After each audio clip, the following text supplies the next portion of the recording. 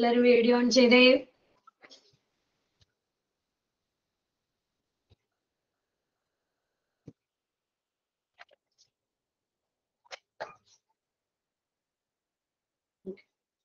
Good evening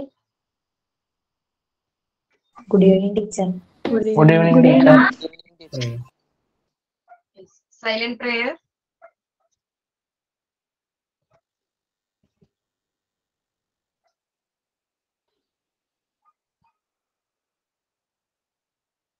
okay book അടച്ചു വെച്ച എല്ലാവരും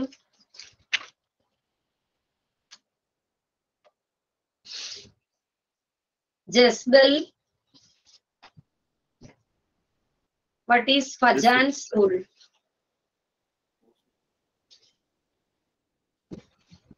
Fajan's rule.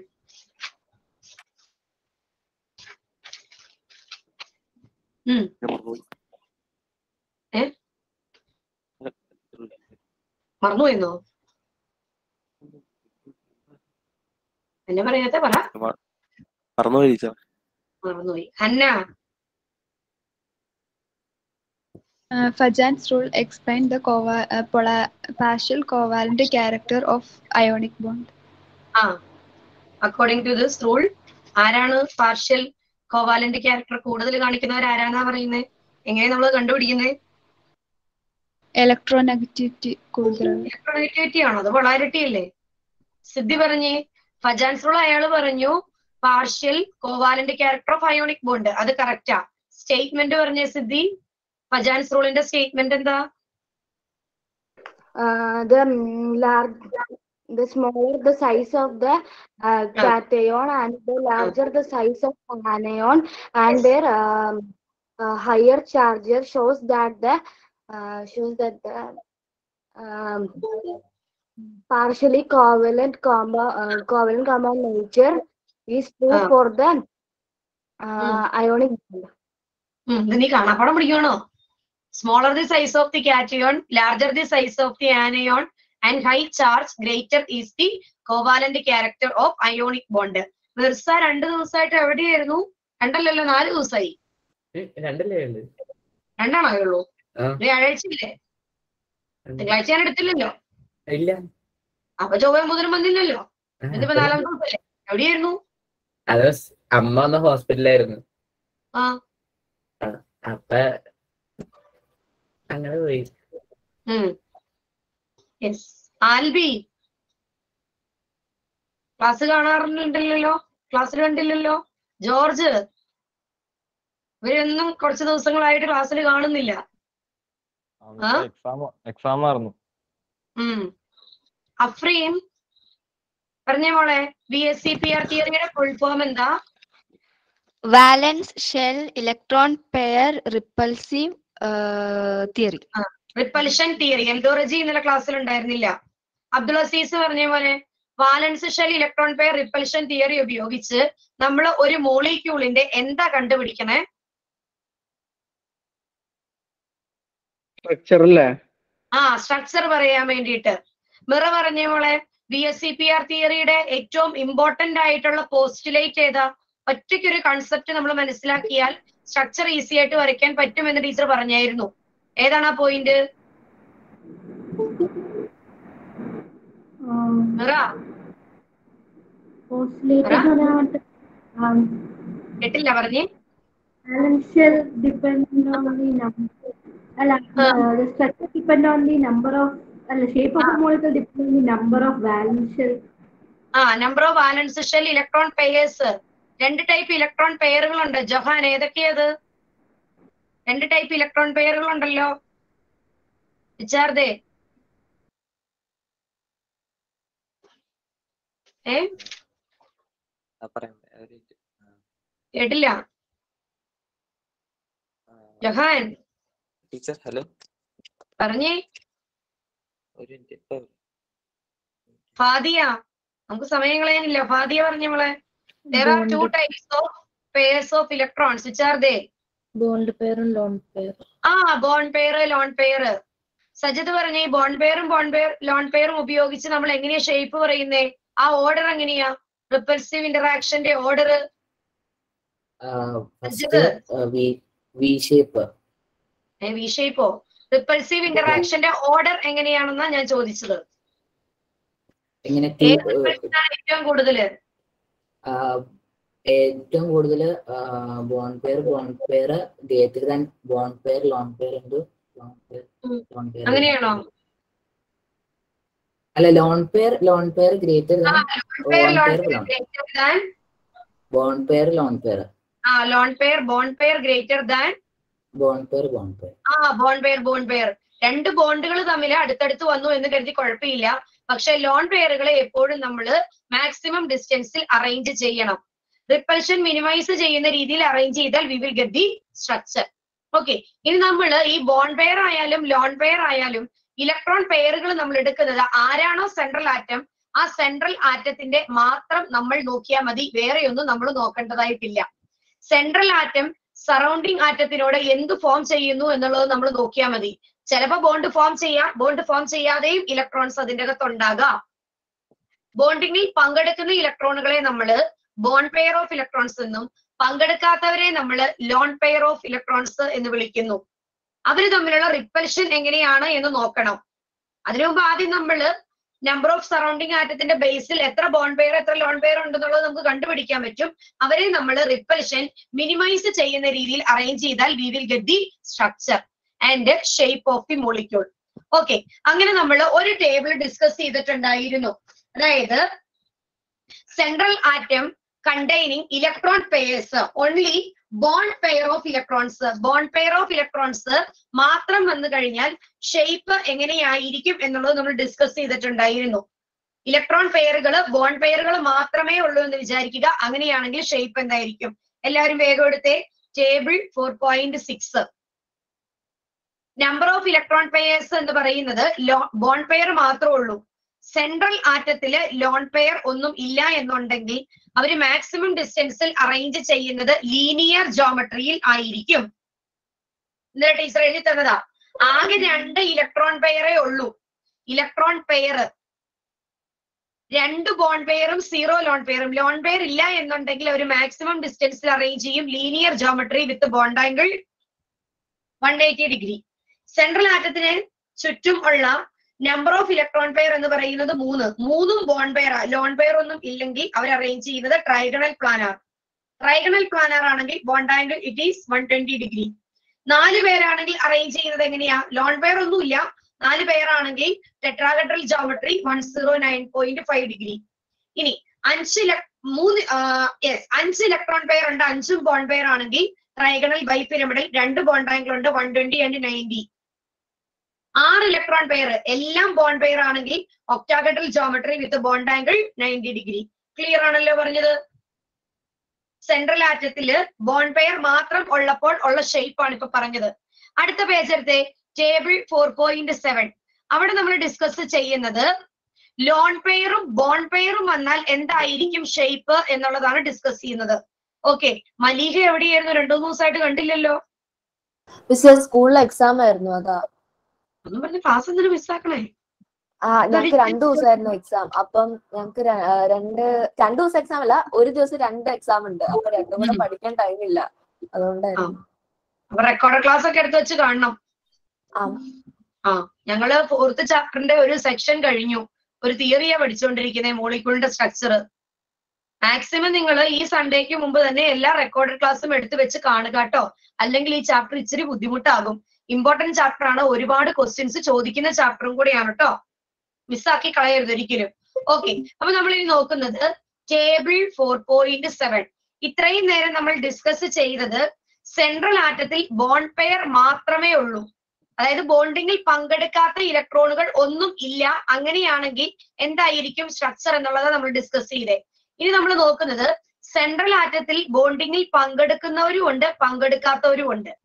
രണ്ടു കൂട്ടരും വന്നു കഴിഞ്ഞാൽ എന്തായിരിക്കും ഷേപ്പ് എന്നുള്ളത് നമ്മൾ ഡിസ്കസ് ചെയ്യും. അതിനെങ്ങനെയാണ് ഫസ്റ്റ് കോളത്തിൽ അവർ ആ മോളിക്യൂളിന്റെ ഫോർമുല അവിടെ കൊടുത്തിട്ടുണ്ട്.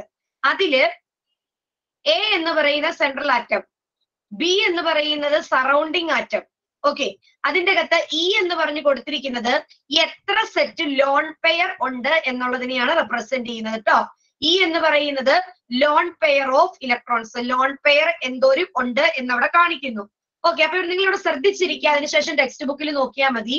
ഫസ്റ്റ് സ്ട്രക്ചർ എന്ന് പറയുന്നത് എ ബി ടു ഇ അതായത് രണ്ട് സറൗണ്ടിങ് ആറ്റവും ഉണ്ട് ഒരു ലോൺ പെയറും ഉണ്ട് എന്നാണ് ഇതിന്റെ അർത്ഥം. രണ്ട് സറൗണ്ടിങ് ആറ്റം എക്ക് ചുറ്റും ഉണ്ട് എന്ന് പറഞ്ഞാൽ രണ്ട് ബോണ്ട് പെയറുകൾ ഉണ്ട്. രണ്ട് ബോണ്ട് ഉണ്ട് എന്തായാലും. രണ്ട് ബി ആറ്റം എയോട് ജോയിൻ ചെയ്യണമെങ്കിൽ രണ്ട് ബോണ്ട് ഉണ്ട്. ഇ എന്ന് പറഞ്ഞാൽ ഒരു ലോൺ പെയർ അവിടെയുണ്ട് അപ്പൊ അങ്ങനെ നോക്കിയാൽ നമുക്ക് ഇതിൽ നിന്ന് ക്ലിയർ ആണ്. ടോട്ടൽ എത്ര ഇലക്ട്രോൺ പെയർ ഉണ്ട്? മൂന്ന് ഇലക്ട്രോൺ പെയർ ഉണ്ട്. അല്ലേ? ശരിയല്ലേ മക്കളെ? എ ബി ടു ഇ എന്ന് പറഞ്ഞാൽ എ സെൻട്രൽ ആറ്റം രണ്ട് ബി ആറ്റം സറൗണ്ട് ചെയ്തിരിക്കുന്നു. സോ രണ്ട് ബോൺ പെയർ ഇ എന്ന് പറയുന്നത് ലോൺ പെയറിനെ റെപ്രസെന്റ് ചെയ്യുന്നത് so total three electron pair ഇനി നിങ്ങൾ ടേബിൾ ഫോർ പോയിന്റ് സിക്സിലോട്ട് നോക്കുക. മൂന്ന് ഇലക്ട്രോൺ പെയർ ആണെങ്കിൽ അതിന്റെ ഷേപ്പ് എന്തായിരിക്കും എന്നുള്ളത് അവിടെ കൊടുത്തിട്ടുണ്ട്. വയസ്സ് പറഞ്ഞേ മൂന്ന് ഇലക്ട്രോൺ പെയർ ആണെങ്കിൽ അതിന്റെ ഷേപ്പ് എന്തായിരിക്കും? വയസ്സ് ആ ട്രൈഗണൽ പിരമിഡലോ മൂന്ന് ഇലക്ട്രോൺ പെയർ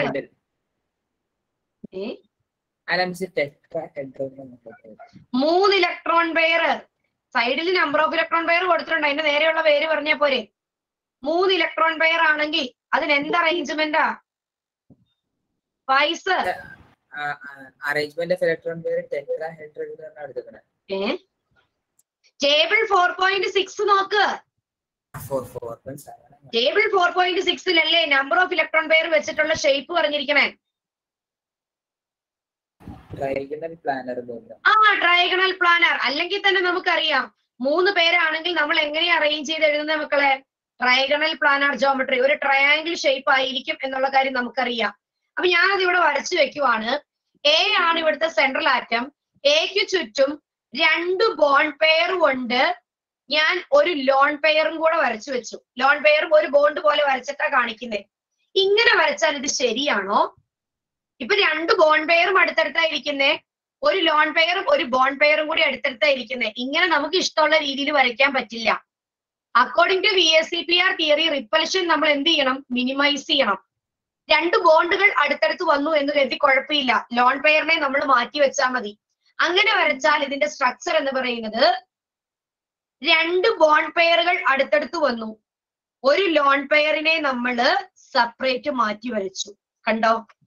ഇതാണ് എന്ത് ട്രൈഗണൽ പ്ലാന രണ്ട് ബോണ്ട് പെയറും ഉണ്ട്. ഒരു ലോൺ പെയറും ഉണ്ട്. ട്രൈഗണൽ പ്ലാനാർ ജോമെട്രി പക്ഷേ നമ്മൾ മോളിക്യൂളിന്റെ ഷേപ്പ് പറയുന്ന സമയത്ത് അതിൽ ഇച്ചിരി വ്യത്യാസമുണ്ട്. രണ്ട് ബോൺ പെയറും ഒരു ലോൺ പെയറും വന്നാൽ അതിന്റെ ഷേപ്പ് എന്ന് പറയുന്നത് വി ഷേപ്പ് അല്ലെങ്കിൽ ബെൻഡ് ഷേപ്പ് ആയിരിക്കും. ഈ ട്രൈഗണൽ പ്ലാനാർ എന്ന് പറയുന്നത് അറേഞ്ച്മെന്റ് ഓഫ് ഇലക്ട്രോൺ ആണ്. Arrangement of electron that is trigonal planar. But the shape it is bent due to the presence of a set of lone pair of electron. Clear ആണോ പറഞ്ഞത്? മനസ്സിലായോ? ഇതുപോലെ തന്നെയാണ് അടുത്തത്. അതുപോലെ ടീച്ചർ വരച്ചു കാണിക്കാം. ശ്രദ്ധിച്ചിരിക്കണേ. അടുത്തത് എന്ന് പറയുന്നത് A B two E sorry A B two അല്ലല്ലോ.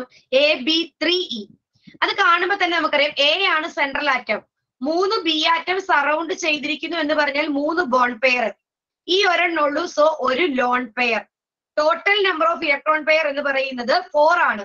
ഫോർ ഇലക്ട്രോൺ പെയർ നാല് പേരുണ്ടെങ്കിൽ അവരെ എങ്ങനെ അറേഞ്ച് ചെയ്യണം എന്ന് നമ്മൾ പറയുന്നേ? ടെട്രാഹെഡ്രൽ ജോമെട്രിയിൽ ടോട്ടൽ നാല് ഇലക്ട്രോൺ പെയർ ആണെങ്കിൽ ടെട്രാഹെഡ്രൽ ജോമെട്രി ആയിരിക്കും. ടെട്രാഹെഡ്രൽ ജോമെട്രി എങ്ങനെയാ വരുന്നത്? ഷേപ്പ് നിങ്ങൾക്ക് അറിയാം A B B tetrahedral geometry അറിയണമെങ്കിൽ ടേബിൾ ഫോർ പോയിന്റ് സിക്സ് നോക്കണം. ടെട്രാഹെഡ്രൽ ജോമെട്രി മൂന്ന് ബോൺ പെയർ വരച്ചു ഒരു ലോൺ പെയർ വരച്ചു. എന്തിനാണ് ഞാൻ ഈ ലോൺ പെയറിനെ മുകളിലോട്ട് വരച്ചത്? റിപ്പൽഷൻ മിനിമൈസ് ചെയ്യാൻ. ബോൺ പെയറുകൾ മൂന്നെണ്ണം അടുത്തടുത്ത് വരച്ചു ലോൺ പെയറിനെ മാറ്റി വെച്ചു. കാരണം എന്താ? ലോൺ പെയറും ബോൺ പെയറും തമ്മിൽ റിപ്പൽഷൻ ഉണ്ട്. പക്ഷേ അറേഞ്ച്മെന്റ് ടെട്രാഹെഡ്രൽ ആണെങ്കിലും ഷേപ്പിന് വ്യത്യാസമുണ്ട്. The shape become trigonal pyramidal clear ആണോ? ട്രൈഗണൽ പിരമിഡൽ ഓക്കെ അപ്പൊ അതുപോലെ ബാക്കിയുള്ളത് അഞ്ചെണ്ണോ നിങ്ങൾ വരച്ചു നോക്കിക്കേ. Text book ഇല്ലാത്തവരുണ്ടെങ്കിൽ please raise the hand text book ഇല്ലാത്തവര് ആരുമില്ല. ഓക്കെ സോ അടുത്തത്. A B two E two ഇതുപോലെ തന്നെ. ആ അറഫാൻ. ടെക്സ്റ്റ് ബുക്ക് ഇല്ല.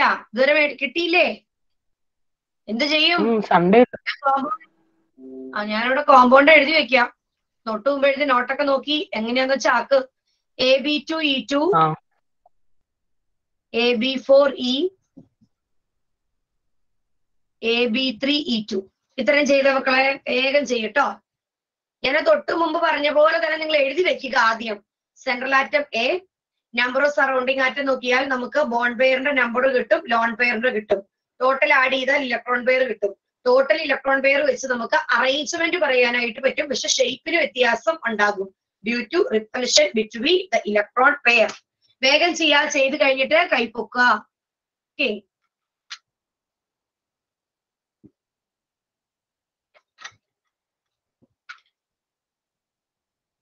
ടീച്ചറെ ടീച്ചർ എന്താ ചെയ്യേണ്ടതെന്ന് പറയാമോ? എന്താ ഞാനിപ്പോ ചെയ്യാൻ പറഞ്ഞോ ആ അതെ. അതിന് കേട്ടില്ലേ? ഇത് ടീച്ചറെ. നമ്മളെ ടേബിൾ ഫോർ പോയിന്റ് സെവൻ വെച്ചിട്ട് ഓരോന്നിന്റെ അകത്തും ലോൺ പെയറും ബോൺ പെയറും നോക്കിയിട്ട് ഷേപ്പ് എങ്ങനെയാന്നല്ലേ നമ്മളിപ്പോ പഠിച്ചുകൊണ്ടിരിക്കണേ ആദ്യത്തെ രണ്ടെണ്ണം ടീച്ചർ എഴുതി തന്നില്ലേ? അതേപോലെ ബാക്കിയുള്ളത് എഴുതാൻ. ഓക്കെ. അതായത് ഇപ്പൊ ശ്രദ്ധിച്ചേ A B two E two ആണെങ്കിൽ അത് കാണുമ്പോൾ നമുക്കറിയാം A central atom B surrounding atom രണ്ട് ബി ആറ്റം ഉണ്ട് അപ്പൊ രണ്ട് ബോൺ പെയർ ഉണ്ട്. ഇ ടു എന്ന് പറയുമ്പോൾ രണ്ട് ലോൺ പെയർ ഉണ്ട്. ടോട്ടൽ ഇലക്ട്രോൺ പെയർ എത്രയാ? നാല്. നാല് വന്നാൽ അറേഞ്ച്മെന്റ് എന്താ? ടെട്രാഹെഡ്രൽ അറേഞ്ച്മെന്റ് പക്ഷെ ഷേപ്പിന് വ്യത്യാസം ഉണ്ടാകും. എന്ത് ഷേപ്പ് ആണെന്നുള്ളത് ടെക്സ്റ്റ് ബുക്കിൽ കൊടുത്തിട്ടുണ്ട്. അപ്പൊ ഷേപ്പ് മാത്രം ടെക്സ്റ്റ് ബുക്കിൽ നോക്കുക ബാക്കി നിങ്ങൾ സ്വന്തമായിട്ട് ചെയ്യുക. കേട്ടോ? ആ. ഇത് ഒന്നാമത്തെ A B three E two അല്ലേ വരുന്നത് ടെക്സ്റ്റിനകത്ത് A B three E two എന്നാണ് അത് തെറ്റാ. A B two E two A B three two താഴെ കിടക്കുന്നുണ്ട്. ആദ്യം കൊടുത്തിരിക്കുന്നത് നിങ്ങളുടെ പുതിയ ടെക്സ്റ്റ് ബുക്കിൽ അത് തെറ്റിപ്പോയെന്ന് എനിക്കാണ്. മൊത്തം നാളെ ട്രാക്ടറിലല്ലേ പക്ഷെ അറേഞ്ച്മെന്റ് കൊടുത്തേക്കണേ? ആ. ആ അപ്പൊ അത് തെറ്റാ. A B two E two ആണ്. A B three E two അല്ല? നാല് ഇലക്ട്രോൺ പേരെ മൊത്തത്തിലുള്ളൂ. പ്രിന്റിംഗ് മിസ്റ്റേക്കാ പഴയ ടെക്സ്റ്റ് ബുക്കിൽ കറക്റ്റാ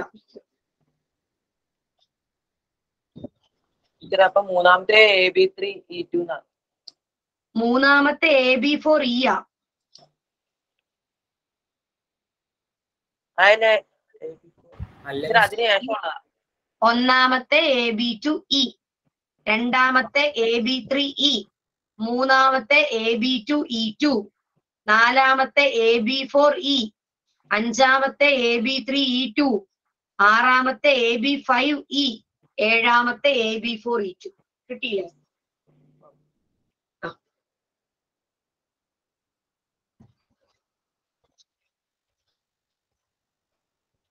വേഗം വേഗം ചെയ്യാട്ടോ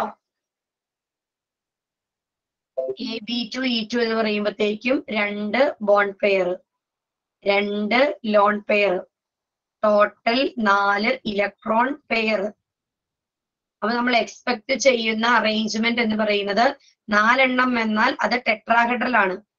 പക്ഷെ നമ്മൾ റിപ്പൽഷൻ മിനിമൈസ് ചെയ്യുന്ന രീതിയിൽ അറേഞ്ച് ചെയ്യണം. ലോൺ പെയറുകൾ രണ്ടും അടുത്തടുത്ത് വരാൻ പാടില്ല. ബോൺ പെയറുകൾ അടുത്തടുത്ത് വന്നാൽ കുഴപ്പമില്ല. So the geometry it is tetrahedral geometry geometry tetrahedral ആണെങ്കിലും ഷേപ്പിന് വ്യത്യാസമുണ്ട്. This is also bend shape ഇത്രയും എഴുതി വെക്കാനാണ് പറഞ്ഞത്. അറേഞ്ച്മെന്റ് വരെ നിങ്ങൾക്ക് കൊടുക്കാൻ പറ്റും. ബാക്കി ഷേപ്പ് ഒക്കെ അല്ലേ പറയാൻ പറ്റത്തില്ലാത്തുള്ളൂ ബാക്കിയൊക്കെ കണ്ടുപിടിക്കാം. ബോൺ ലോൺവെയറും ഒക്കെ കണ്ടുപിടിക്കാം. ഈ രണ്ട് ടേബിളും ഇമ്പോർട്ടന്റ് ആണ്. ബൈഹാർട്ട് പഠിക്കണം?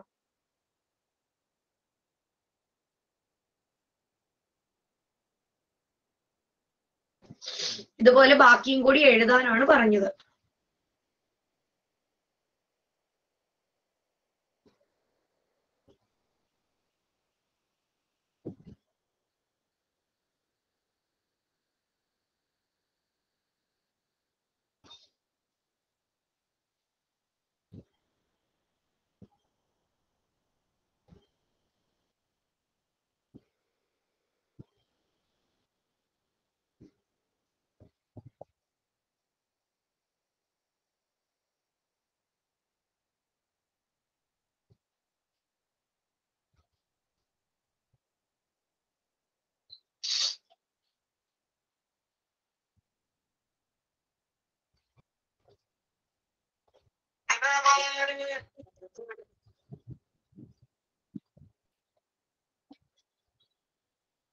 ഒരു മിനിറ്റ്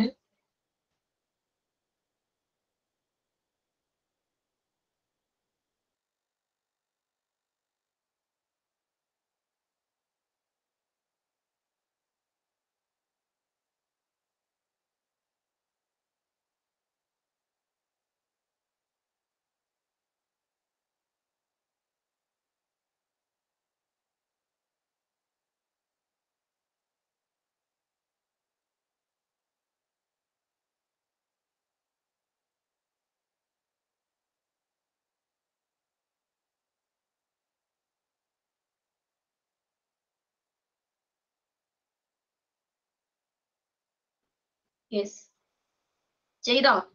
ചെയ്യാൻ കിട്ടുന്നുണ്ടോ? എന്താണ്ടൊക്കെ മനസ്സിലായി എന്നുള്ളവരൊന്ന് കൈവക്കിക്ക് കുറെ ഏറെയൊക്കെ മനസ്സിലായി എന്നുള്ളവര് ക്ലാസ്സിൽ കയറാഞ്ഞവർക്ക് ബുദ്ധിമുട്ടായിരിക്കും അതെനിക്കറിയാം. ഈ ചാപ്റ്റർ തുടക്കം തൊട്ട് പഠിക്കണം അതുകൊണ്ടാ. ഓക്കെ അപ്പൊ ടീച്ചർ ബാക്കി വരയ്ക്കാം. എ അടുത്തത് എ ബി ഫോർ ഇ അതിന്റെ അകത്ത് നാല് ബോൺ പെയർ ഉണ്ട്. ഒരു ലോൺ പെയർ ഉണ്ട്. ടോട്ടൽ അഞ്ച് ഇലക്ട്രോൺ പെയർ ഉണ്ട്. അഞ്ച് പേരാണെങ്കിൽ അറേഞ്ച്മെന്റ് നമുക്കറിയാം. ട്രയഗണൽ ബൈ പിരമിഡൽ സോ എക്ക് ചുറ്റും ട്രയാങ്കിൾ ഷേപ്പിലുണ്ട് ഇങ്ങനെ വരച്ചു വെക്കുക ആദ്യം. ട്രയഗണൽ ബൈ പിരമിഡൽ ആണ് അഞ്ചെണ്ണം വരുന്നത്. ഈ ട്രയഗണൽ ബൈ പിരമിഡലിൽ ഒരു ലോൺ പെയർ ഓഫ് ഇലക്ട്രോൺ അവിടെ കൊടുത്തിട്ടുണ്ട്. ഓക്കെ ഒരു ലോൺ പെയർ ഓഫ് ഇലക്ട്രോൺ അപ്പൊ ലോൺ പെയറിനെ നമുക്ക് മാക്സിമം ഡിസ്റ്റൻസിലോട്ട് അങ്ങോട്ട് അറേഞ്ച് ചെയ്യാം. ഓക്കെ ലോൺ പെയറിനെ നമ്മൾ മാക്സിമം ഡിസ്റ്റൻസിൽ അറേഞ്ച് ചെയ്ത് വെച്ചിരിക്കുന്നു. ദെൻ ലോൺ ബാക്കിയുള്ളതിനെല്ലാം നമുക്ക് ഏത് കൊട്ടത്ത് കൊടുക്കാം? ബി ആറ്റം കൊടുക്കാം. അത് നമ്മൾ കണക്ട് ചെയ്താൽ നമുക്ക് ട്രൈഗണൽ ബൈ പിരമിഡൽ കിട്ടും. ട്രൈഗണലുമായി ബൈ പിരമിഡലുമായി ഓക്കെ അപ്പൊ ഇതിന്റെ പേര് trigonal bi pyramidal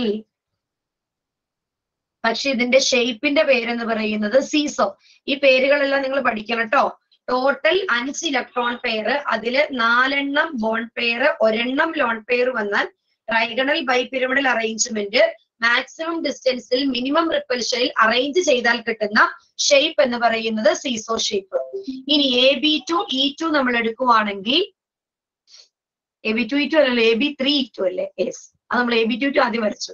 A B three E ടുൽ എന്തൊക്കെയുള്ള? മൂന്ന് ബോൺ പെയർ ഉണ്ട് രണ്ട് ലോൺ പെയർ ഉണ്ട്. ടോട്ടൽ ഇവിടെയും അഞ്ച് ഇലക്ട്രോൺ പെയറാണ് അഞ്ച് ഇലക്ട്രോൺ പെയർ വന്നാൽ അറേഞ്ച്മെന്റ് എപ്പോഴും എന്ത് തന്നെയാ? ട്രയഗണൽ ബൈ പിരമിഡലാ പക്ഷേ ലോൺ പെയറിനെ നമ്മൾ മാക്സിമം ഡിസ്റ്റൻസിൽ അറേഞ്ച് ചെയ്യണം.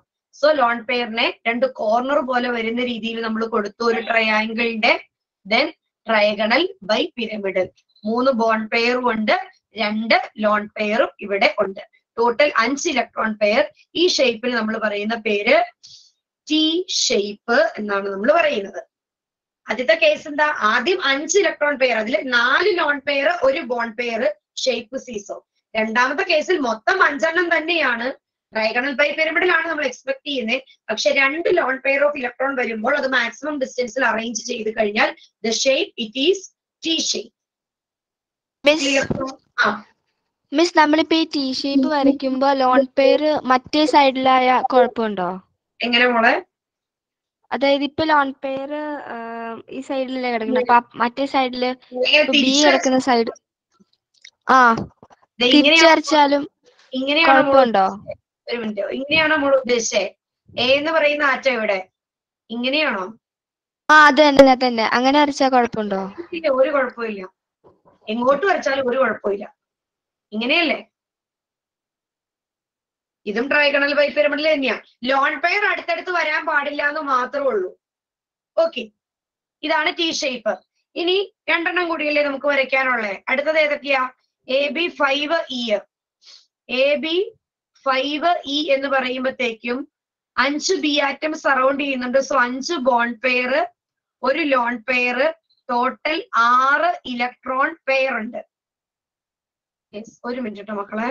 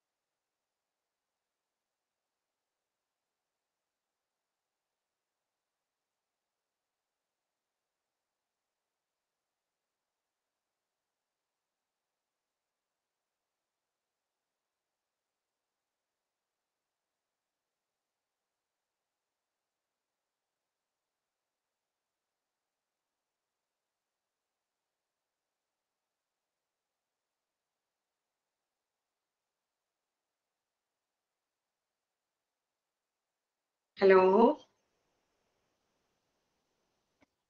ഹലോ?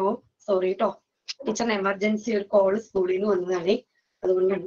ടീച്ചർ സ്കൂളിലെ പഠിപ്പിക്കുന്നത് നിങ്ങൾക്ക് അറിയാവോ അതറിയാവോ? ഇല്ലേ? ആ അറിയാൻ പാടില്ലാത്തവർക്ക് പറയാം. ടീച്ചർ ഒരു സ്കൂളിൽ വർക്ക് ചെയ്യുന്നത് കൂത്താട്ടുകുളത്ത് മേരിഗിരി സ്കൂൾ. കേട്ടിട്ടുണ്ടോ? ഇല്ലേ? അങ്ങനെ സ്കൂളിനെ പറ്റിയും കേട്ടിട്ടില്ലേ? അങ്ങനെ ഒരു സ്കൂളിനെ പറ്റി കേൾക്കാത്തവരുണ്ട് ഈ ക്ലാസ്സിൽ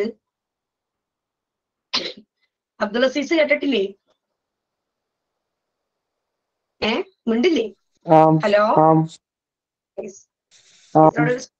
ടീച്ചറോട് സ്കൂളിൽ ട്വൽത്തിലാണ് പഠിപ്പിക്കുന്നത് ഒരു അത്യാവശ്യം ഒരു കോൾ വന്നു അതാണ് എടുത്തത് കേട്ടോ ഓക്കെ അപ്പോഴത്തേക്ക് നിങ്ങൾ നോക്കിയായിരുന്നോ ബാക്കി? യെസ് നോക്കിക്കേ. അപ്പൊ നമ്മൾ ഏത് സ്ട്രക്ചറാ വരച്ചത്? A B four E A B three E two A B five E total എത്ര ഇലക്ട്രോൺ പെയറാ വന്നേ? സിക്സ് ഇലക്ട്രോൺ പെയേഴ്സ് വന്നിട്ടുണ്ട്. അപ്പൊ ആറെണ്ണം ആണ് എന്നുണ്ടെങ്കിൽ നമ്മൾ സാധാരണ അറേഞ്ച് ചെയ്യുന്നത് എങ്ങനെയാ ഫ്രീൻ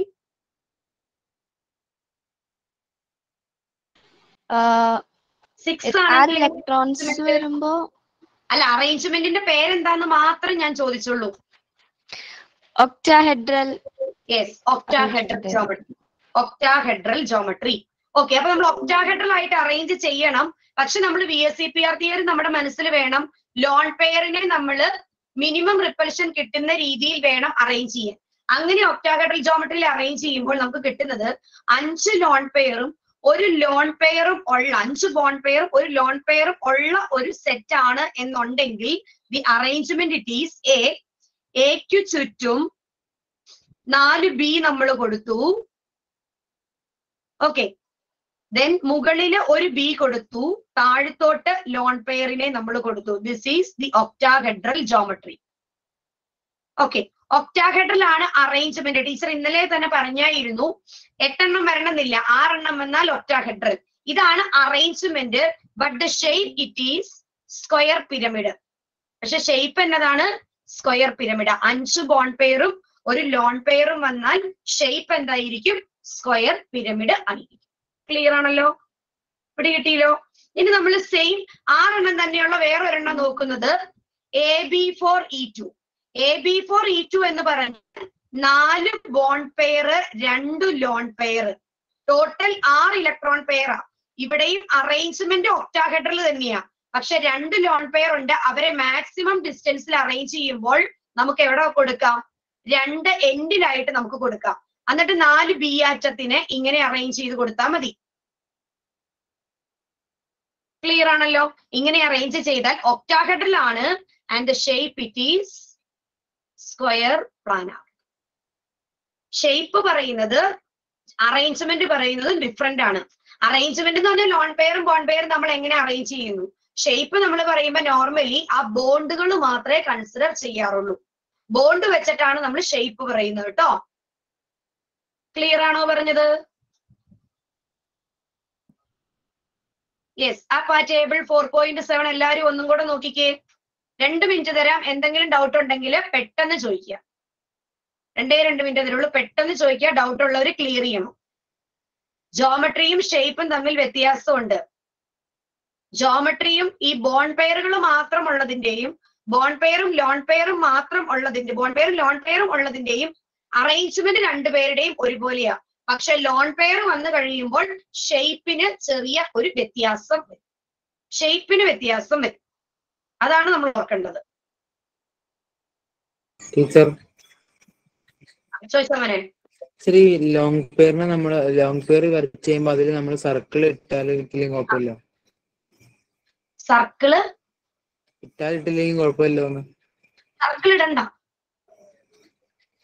നമ്മൾ പറഞ്ഞത് സെൻട്രലിൽ നിന്ന് നോക്കുമ്പോൾ നമ്മൾ ഒരു സർക്കിൾ നോക്കുന്നു. അത് എന്തിനാ എല്ലാ ബോണ്ടും ഒരുപോലെ ആകാൻ വേണ്ടിയിട്ടാണ് നമ്മൾ ഒരു സർക്കിൾ വെച്ചിട്ട് ചെയ്യുന്നതെന്ന് പറയുന്നത്. അത്രേ ഉള്ളൂ. പിടി കിട്ടിയോ? അല്ലാണ്ട് സർക്കിൾ വെച്ചിട്ട് വരച്ചിട്ട് ചെയ്യണം എന്നല്ല ഉദ്ദേശിക്കുന്നത് ഒരു സർക്കിൾ വെച്ചിട്ട് നമ്മൾ ഇത് അറേഞ്ച് ചെയ്ത് കഴിയുമ്പോഴേ അതിന്റെ ഷേപ്പ് കിട്ടുള്ളൂ. അല്ലാണ്ട് നമുക്ക് മേക്കൊന്നും പറഞ്ഞ് വരച്ചു വെക്കാൻ പറ്റും. ഇപ്പൊ ഒരു എക്സാമ്പിൾ പറഞ്ഞാൽ നോക്കിക്കേ.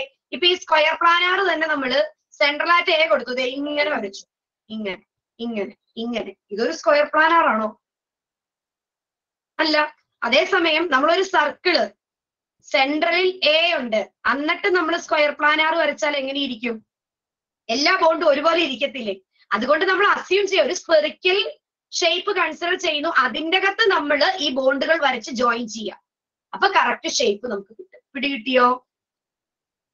സർ പിന്നെ ലോങ് പെയറിന്റെ ലോങ് പെയർ വർക്ക് ചെയ്യുമ്പോൾ നമ്മൾ അതിൽ സർക്കിളിൽ ഡോട്ട് ഇട്ട് തന്നെ അവിടെ. ചെറിയ സർക്കിൾ ചോദിച്ച പോലെയാണ് ഓർബിറ്റലാണ് ചോദിച്ചേ. അത് വട്ടമല്ല അത്. അത് ഓർബിറ്റലാ അതായത് S orbital P orbital D orbital എന്നൊക്കെ പറഞ്ഞ ഓർബിറ്റൽ ഇല്ലേ? അതിന്റെ അകത്താ ഇലക്ട്രോൺ ഇരിക്കുന്നേ.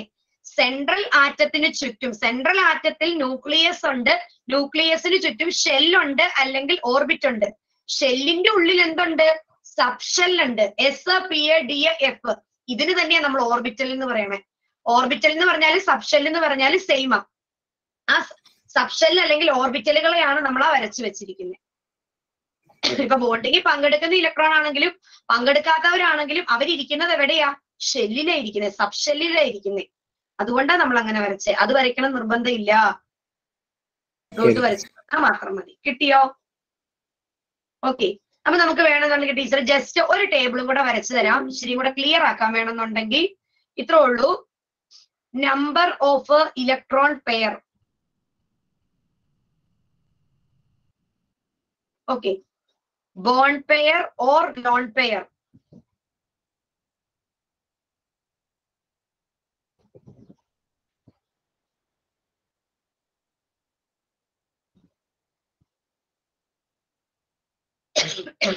bond pair or lone pair. Then geometry and shape. Geometry എന്ന് കൊടുക്കണ്ട ഇലക്ട്രോണിക് അറേഞ്ച്മെന്റ് എന്ന് കൊടുത്താൽ മതി ജോമെട്രി ഷേപ്പ് ഒരു ഒന്ന് തന്നെയാണ്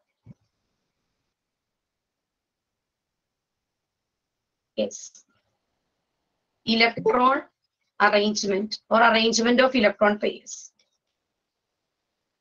Arrangement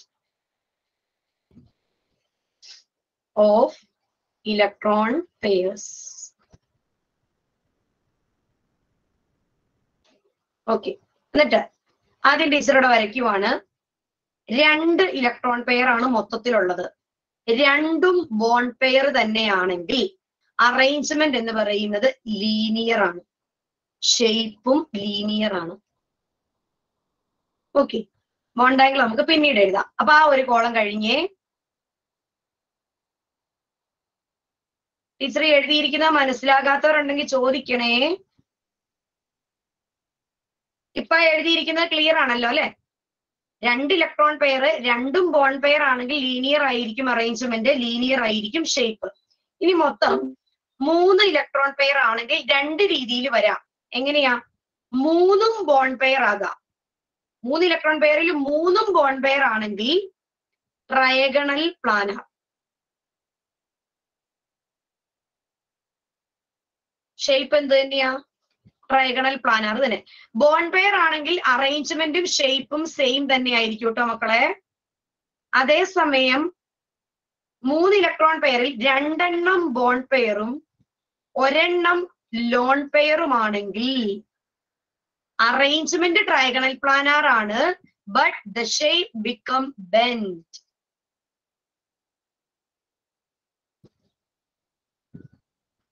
എഴുതിയിരിക്കുന്നത് മനസ്സിലായോ? കൈവക്കിക്കേ പിടികിട്ടി ഒരു കൈവക്കിക്കേ.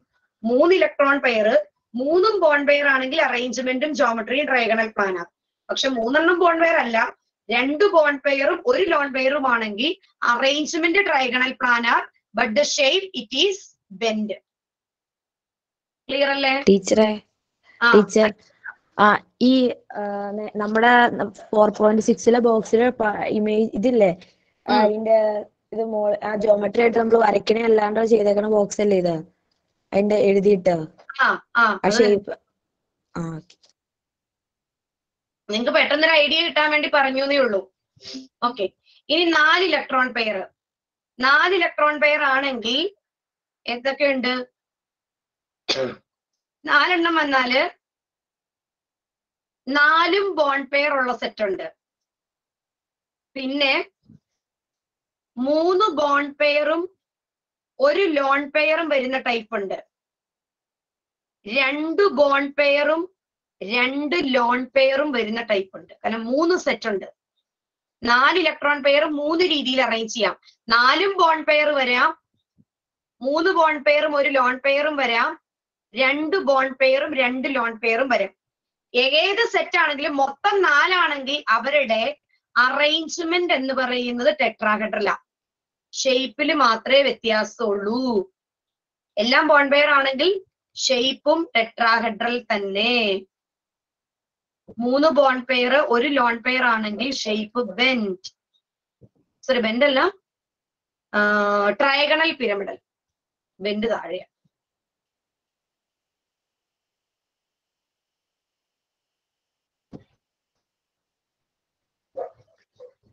ട്രയഗണൽ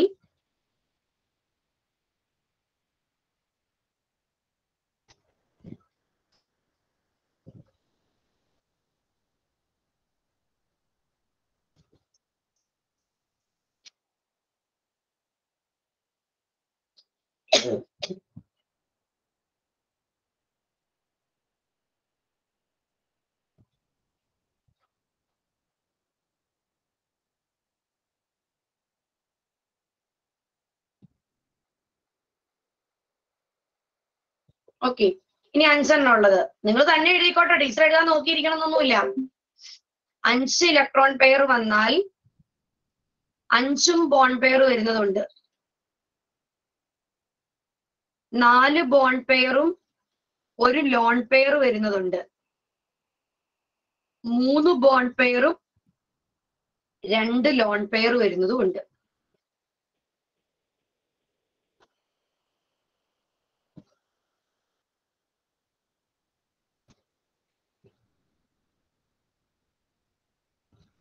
അഞ്ച് ബോൺ പെയർ ആണെന്നുണ്ടെങ്കിൽ ട്രയഗണൽ ബൈ പിരമിഡ്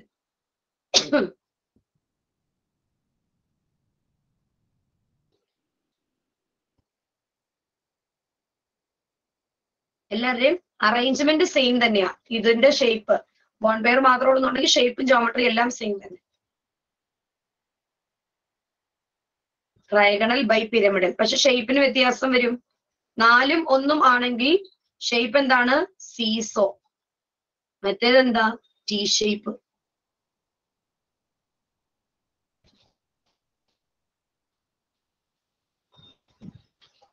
ഓക്കെ ഇനി ആറെണ്ണം വരുന്നത്. ടോട്ടൽ ആറ് ഇലക്ട്രോൺ പെയർ ആണെങ്കിൽ ആറും ബോൺ പെയർ ആണെങ്കിൽ ഒക്ടാഹെഡ്രൽ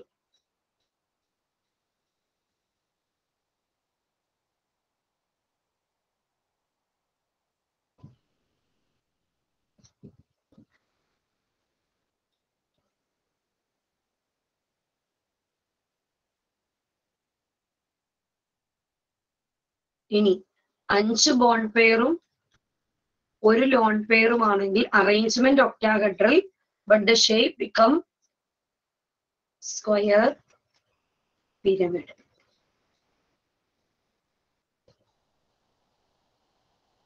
നാല് ബോണ്ട് പെയറും രണ്ട് ലോൺ പെയറും ആണെങ്കിൽ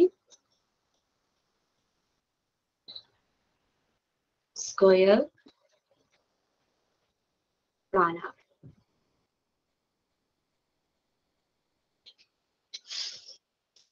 വേഗം വരച്ചെടുക്കുക വരച്ചതിന് ശേഷം കൈവെക്കുക കേട്ടോ.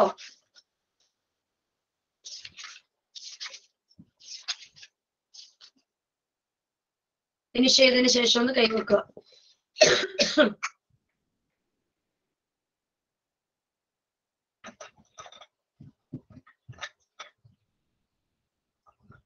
ക്ലിയർ ആണല്ലോ അല്ലെ?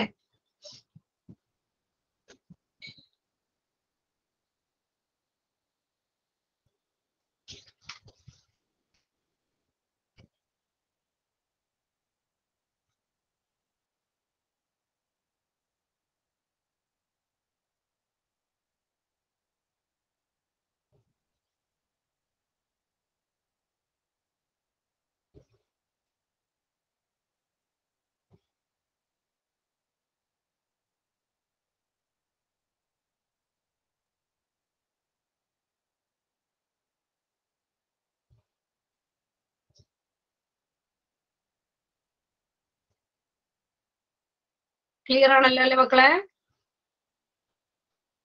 ഓക്കെ ഇനി ഒരു കാര്യം ചെയ്തേ. ആ പേജിന്റെ അപ്പുറത്തോട്ട് ഒന്ന് നീട്ടി വരച്ചേ. അതായത് എല്ലാവരും എഴുതി കഴിഞ്ഞില്ലേ? ഈ സൈഡിലോട്ട് ഒന്ന് ഒരു കോളം കൂടെ വരയ്ക്കണം. ഇച്ചിരി സ്ഥലം നിങ്ങൾ ഉണ്ടാക്കണം. കുഞ്ഞു കോളം കൂടെ വരച്ചാൽ മതി. ആ ഷേപ്പ് എന്ന് പറയുന്ന കോളം കഴിഞ്ഞിട്ടേ ബോണ്ടാങ്കിൾ എന്ന് പറഞ്ഞിട്ട് ഒരു കുഞ്ഞു കോളം കൂടെ വരയ്ക്കുക. വരയ്ക്കാൻ പാടില്ലേ? എവിടെയെങ്കിലും. അല്ലെങ്കിൽ ആ ഇലക്ട്രോൺ വയറിന്റെ താഴെ എഴുതി വെച്ചാലും മതി. ഒരു കുഞ്ഞി കോളം എന്തായാലും വരയ്ക്കാനുള്ള ഒരു സ്പേസ് ഉണ്ടാകും. ഓക്കെ ബോണ്ട് ആംഗിൾ ലീനിയർ ആണെങ്കിൽ it is one eighty degree linear one eighty degree okay trigonal planar ആണെങ്കിൽ the bond angle it is one twenty degree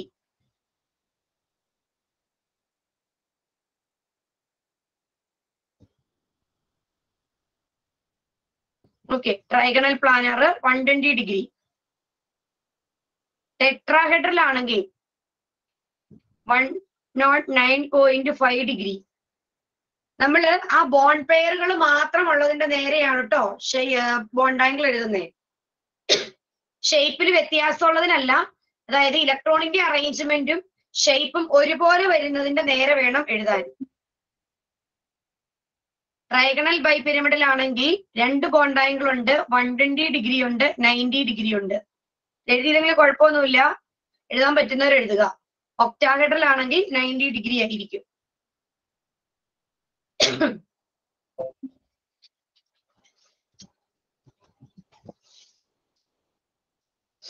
okay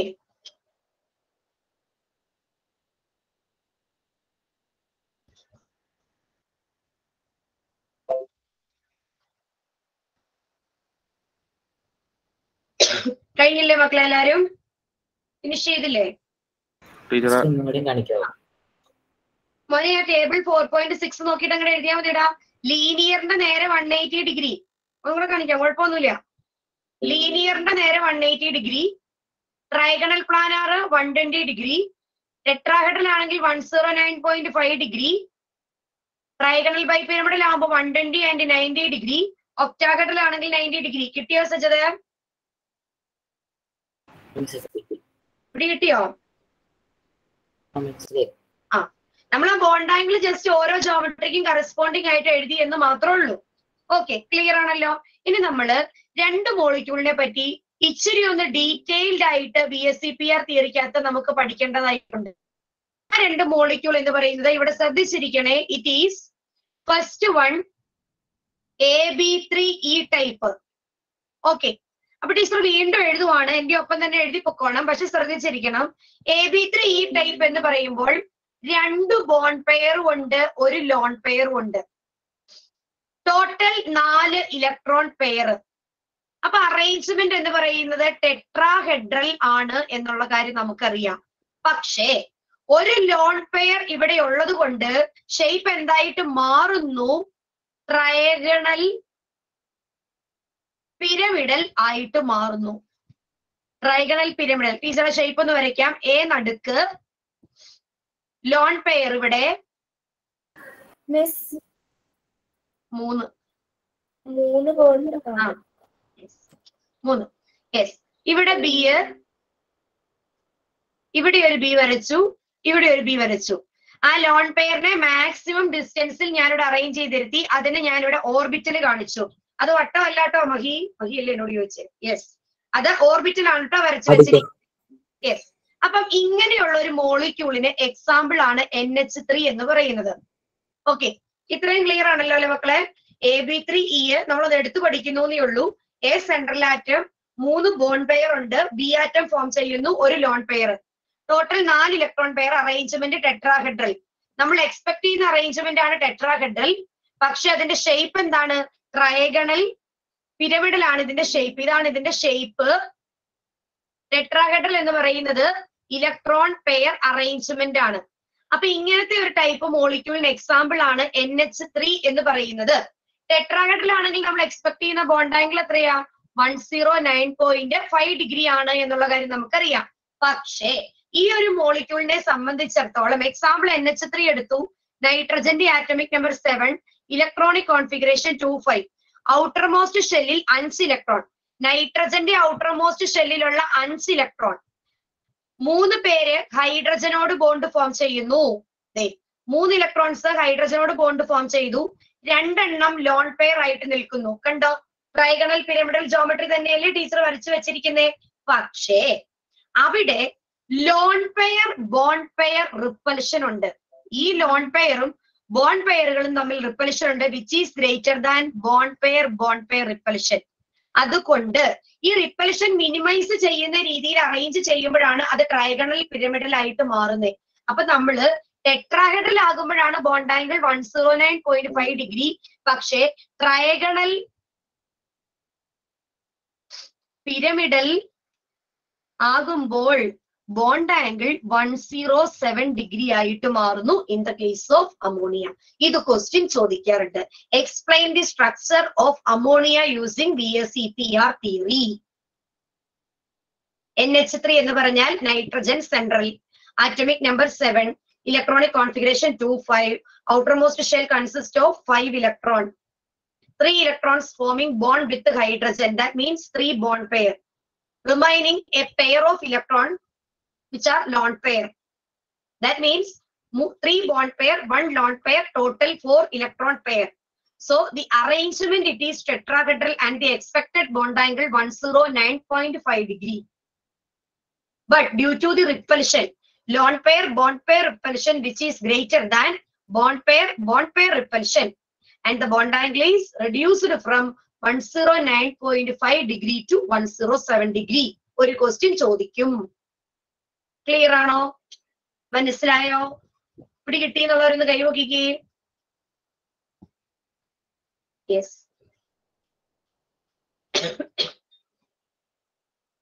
okay ഇതുപോലെ തന്നെ നമ്മൾ വേറൊരു മോളിക്യൂളിനെയും കൂടി എടുത്തു പഠിക്കുന്നു. A B two E two type okay A B two E two അപ്പൊ അതിനകത്തുള്ള സംഗതികളൊക്കെ ആദ്യം എഴുതി വെക്കാം. A B two E two എന്ന് പറയുമ്പോൾ രണ്ട് ബോണ്ട് പെയറും രണ്ട് ലോൺ പെയറും ടോട്ടൽ നാല് ഇലക്ട്രോൺ പെയർ നമുക്കറിയാം നാല് ഇലക്ട്രോൺ പെയർ ആണെങ്കിൽ അറേഞ്ച്മെന്റ് ടെട്രാഹെഡ്രൽ ആണ്.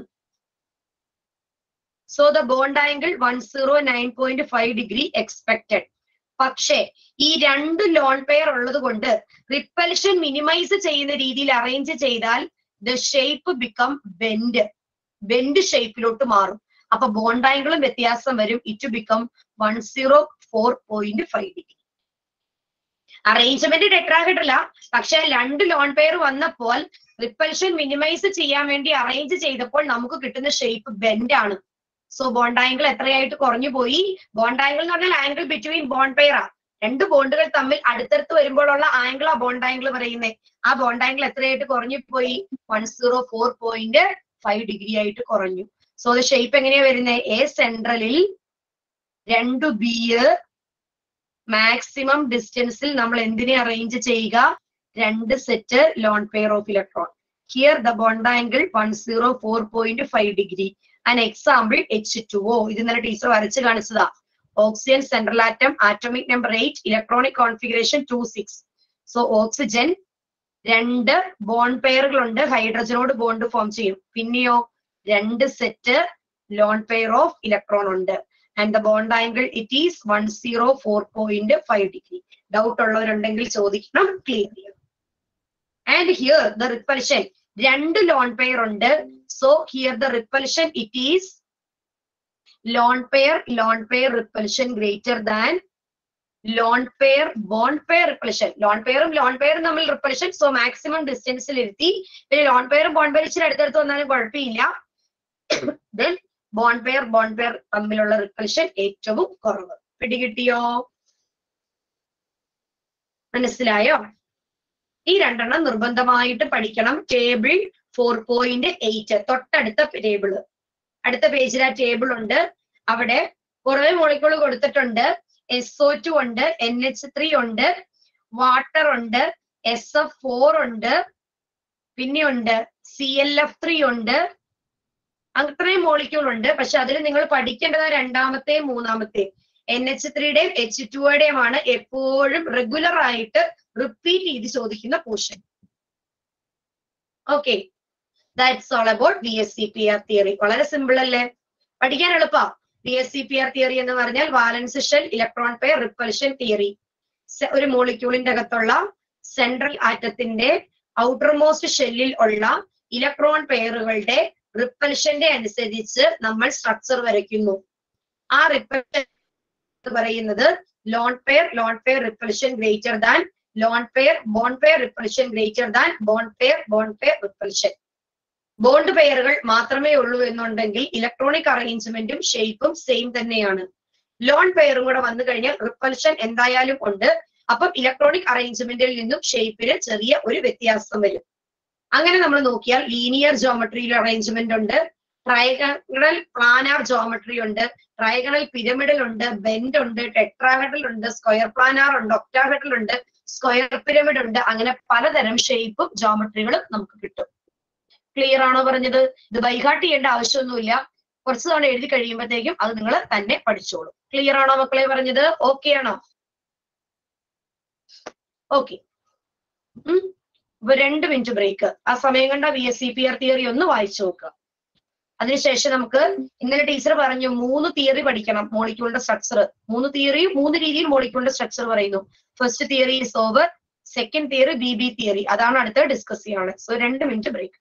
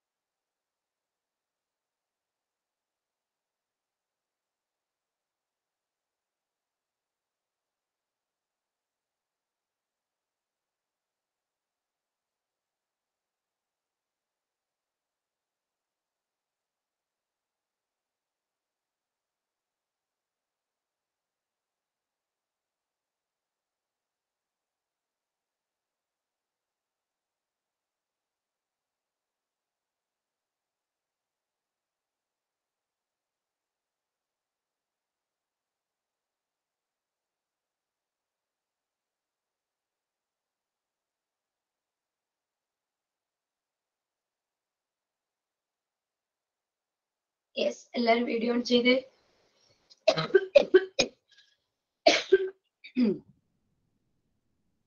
പോയോ എല്ലാരും? രണ്ടിട്ട് തോന്നിയപ്പോഴത്തേക്ക് പോയോ?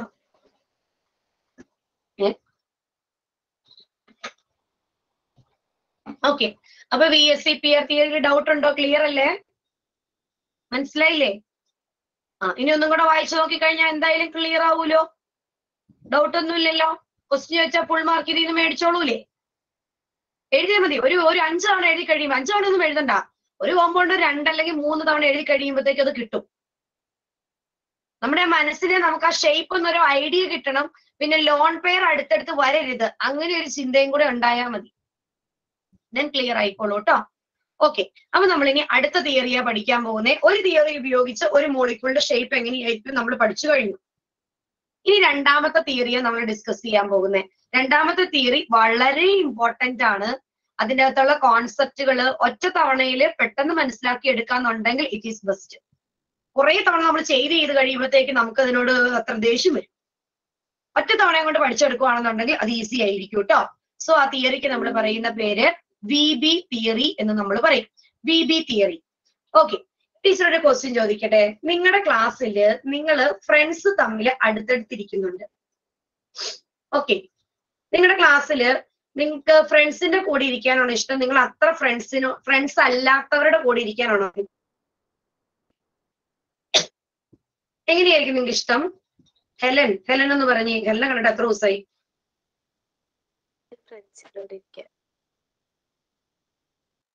ടീച്ചർ?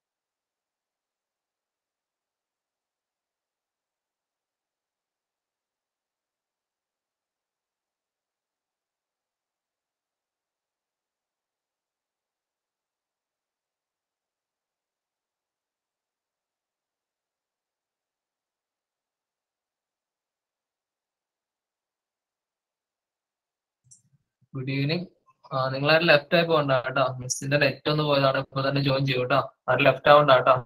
വീഡിയോ ഓൺ ചെയ്ത് തന്നെ വെച്ചിരുന്നു കേട്ടോ.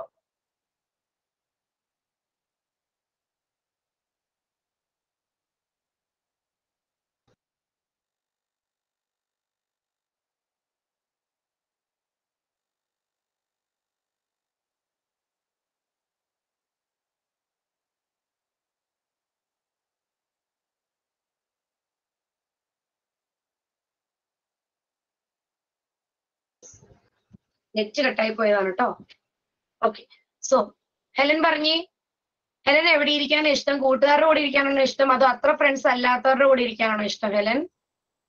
ഫ്രണ്ട്സിന്റെ കൂടെ ഇരിക്കാൻ. നമ്മളെ ക്ലാസ്സിൽ നിങ്ങളെ മാറ്റി മാറ്റി ഇരുത്തും അല്ലേ?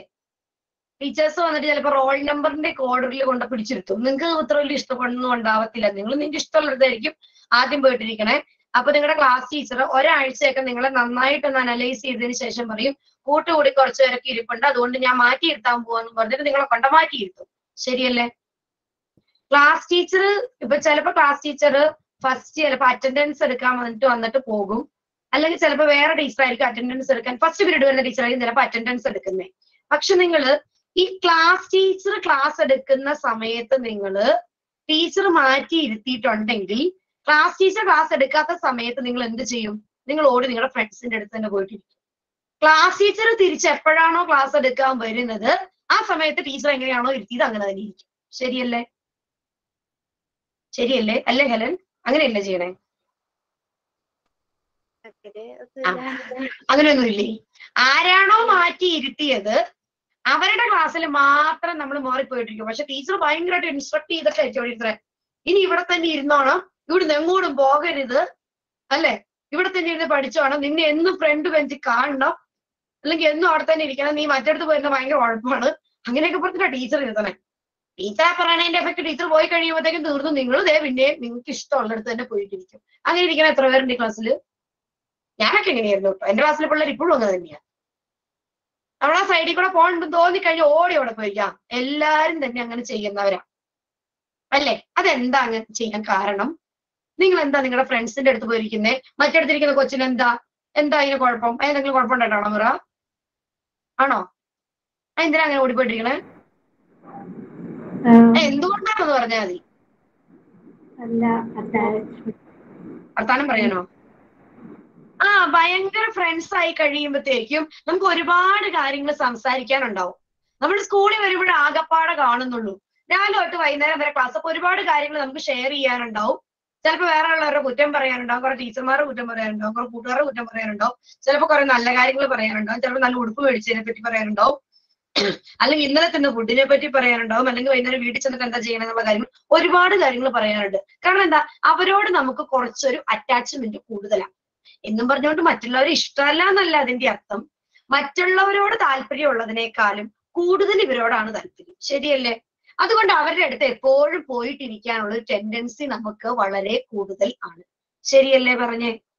അതുപോലെ തന്നെയുള്ള ഒരു കാര്യമാണ് ഈ ബി ബി തിയറിക്കകത്തും പറയുന്നത്. ബി ബി തിയറിയിൽ ഏറ്റവും ഫസ്റ്റ് എങ്ങനെയാണ് ഒരു മോളിക്യൂൾ ഫോം ചെയ്യുന്നത് എന്നുള്ള കാര്യം നമ്മൾ പറയാൻ പോകുന്നത്.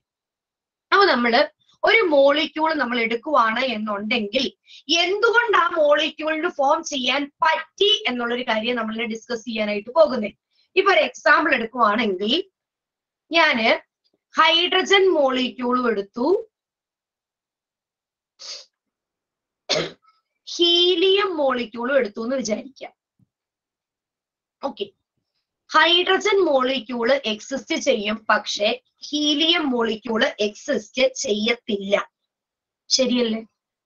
ഹൈഡ്രജനും ഹൈഡ്രജനും കൂടെ ചേർന്ന് എച്ച് ടു മോളിക്യൂൾ ഉണ്ടെന്നുള്ള കാര്യം നമുക്കറിയാം. ഹീലിയം ടു എന്ന് പറഞ്ഞൊരു മോളിക്യൂൾ ഉണ്ടോ? ഇല്ല. എന്തുകൊണ്ട്? എന്തുകൊണ്ട് എന്ന് ചോദിച്ചാൽ ഇത്രേ റീസൺ ഉള്ളൂ. നമ്മൾ ആറ്റംസ് തമ്മിൽ കമ്പൈൻ ചെയ്തിട്ടാണ് മോളിക്യൂൾ ഫോം ചെയ്യുന്നത് എന്നുള്ള കാര്യം നമുക്കറിയാം. അപ്പൊ നമുക്ക് ഹൈഡ്രജൻ മോളിക്യൂൾ ഫോം ചെയ്യണം എന്നുണ്ടെങ്കിൽ രണ്ട് ഹൈഡ്രജൻ ആറ്റംസ് തമ്മിൽ ജോയിൻ ചെയ്താൽ മാത്രമേ ഹൈഡ്രജൻ മോളിക്യൂൾ ഫോം ചെയ്യത്തുള്ളൂ. ഈ ഹൈഡ്രജൻ ആറ്റത്തിന്റെ പ്രത്യേകത എന്ന് പറഞ്ഞാൽ അതിന്റെ അകത്ത് ഇലക്ട്രോണും ഉണ്ട് അതേപോലെ തന്നെ ഒരു ന്യൂക്ലിയസും ഉണ്ട്. ഇലക്ട്രോണിന്റെ ചാർജ് നെഗറ്റീവും ന്യൂക്ലിയസിന്റെ ചാർജ് പോസിറ്റീവും ആണ്. ശരിയല്ലേ? ഇത്രയും മനസ്സിലായോ മക്കളെ? ഒരു ഹൈഡ്രജൻ ആറ്റം എടുത്താൽ ഹൈഡ്രജന്റെ അകത്ത് ഇലക്ട്രോണും ഉണ്ട് ഒരു ന്യൂക്ലിയസും ഉണ്ട്. മറ്റേ ഹൈഡ്രജനിലും എന്തുണ്ട്? നെഗറ്റീവ്ലി ചാർജ്ഡ് ആയിട്ടുള്ള ഇലക്ട്രോണും ഉണ്ട്. പോസിറ്റീവ്ലി ചാർജ്ഡ് ആയിട്ടുള്ള ന്യൂക്ലിയസും ഉണ്ട്. അപ്പൊ ഇങ്ങനെ രണ്ട് ഹൈഡ്രജൻ ആറ്റം തമ്മിൽ അടുത്തടുത്ത് വന്നാൽ മാത്രമേ മോളിക്യൂൾ ഫോം ചെയ്യുള്ളൂ എന്നുള്ള കാര്യം നമുക്കറിയാം. ശരിയല്ലേ? ഇങ്ങനെ അടുത്തടുത്ത് വരുന്ന സമയത്ത് രണ്ട് ഹൈഡ്രജൻ ആറ്റം തമ്മിൽ ജോയിൻ ചെയ്തു വരുന്ന സമയത്ത് അവിടെ രണ്ട് ടൈപ്പ് ഫോഴ്സസ് ഉണ്ടാകുന്നുണ്ട്. റിപ്പൽസീവ് ഫോഴ്സും ഉണ്ട് അട്രാക്റ്റീവ് ഫോഴ്സും ഉണ്ട് റിപ്പൽസീവ് ഫോഴ്സ് എന്ന് പറഞ്ഞാൽ ഓപ്പോസിറ്റ് സോറി ലൈക്ക് ഒരുപോലെയുള്ളവർ തമ്മിൽ റിപ്പൽഷൻ ഉണ്ട് എന്നുള്ള കാര്യം നമുക്കറിയാം. ശരിയല്ലേ? അതായത് ഈ ഹൈഡ്രജന്റെ ഇലക്ട്രോണും മറ്റേ ഹൈഡ്രജന്റെ ഇലക്ട്രോണും തമ്മിൽ റിപ്പൽഷൻ ഈ ഹൈഡ്രജന്റെ ന്യൂക്ലിയസും മറ്റേ ഹൈഡ്രജന്റെ ന്യൂക്ലിയസും തമ്മിൽ എന്തുണ്ട്? റിപ്പൽഷൻ ഉണ്ട് എന്നുള്ള കാര്യം നമുക്കറിയാം. ഇതിന് ഞാൻ എ എന്നും ബി എന്നും ഒന്ന് ഡിസ്റ്റിങ്യൂഷ് ചെയ്യാൻ വേണ്ടിയിട്ട് എച്ച് എ എച്ച് ബി അതായത് എയുടെ ഇലക്ട്രോണും ബിയുടെ ഇലക്ട്രോണും തമ്മിൽ റിപ്പൽഷൻ എയുടെ ന്യൂക്ലിയസും ബിയുടെ ന്യൂക്ലിയസും തമ്മിൽ റിപ്പൽഷൻ അതുപോലെ അവിടെ അട്രാക്ഷനും ഉണ്ട്. എയുടെ ഇലക്ട്രോണും ബിയുടെ ന്യൂക്ലിയസും തമ്മിൽ അട്രാക്ഷൻ ഉണ്ട്. ശരിയല്ലേ മക്കളെ? കാരണം എന്താ? നേരെ തിരിച്ച് ബിയുടെ ഇലക്ട്രോണും എയുടെ ന്യൂക്ലിയസും തമ്മിൽ എന്തുണ്ട്? അട്രാക്ഷൻ ഉണ്ട്. ഇങ്ങനെ രണ്ട് തരത്തിലുള്ള ഫോഴ്സസ് അവിടെ ഡെവലപ്പ് ചെയ്യുന്നുണ്ട് രണ്ട് ആറ്റംസ് തമ്മിൽ ജോയിൻ ചെയ്യുമ്പോൾ. അട്രാക്റ്റീവ് ഫോഴ്സ് ഉണ്ട് റിപ്പൾസീവ് ഫോഴ്സ് ഉണ്ട് ഇനി എന്തുകൊണ്ട് ഹൈഡ്രജൻ മോളിക്യൂൾ ഫോം ചെയ്യുന്നു എന്ന് ചോദിച്ചാൽ ഈ രണ്ട് ഫോഴ്സുകൾ തമ്മിൽ നമ്മൾ കമ്പയർ ചെയ്യുമ്പോൾ അട്രാക്റ്റീവ് ഫോഴ്സ് റിപ്പൽസീവ് ഫോഴ്സിനേക്കാളും പ്രിഡോമിനന്റ് ആയതുകൊണ്ടാണ് അവിടെ ഏത് മോളിക്യൂൾ ഫോം ചെയ്തത്? ഹൈഡ്രജൻ മോളിക്യൂൾ ഫോം ചെയ്തത്.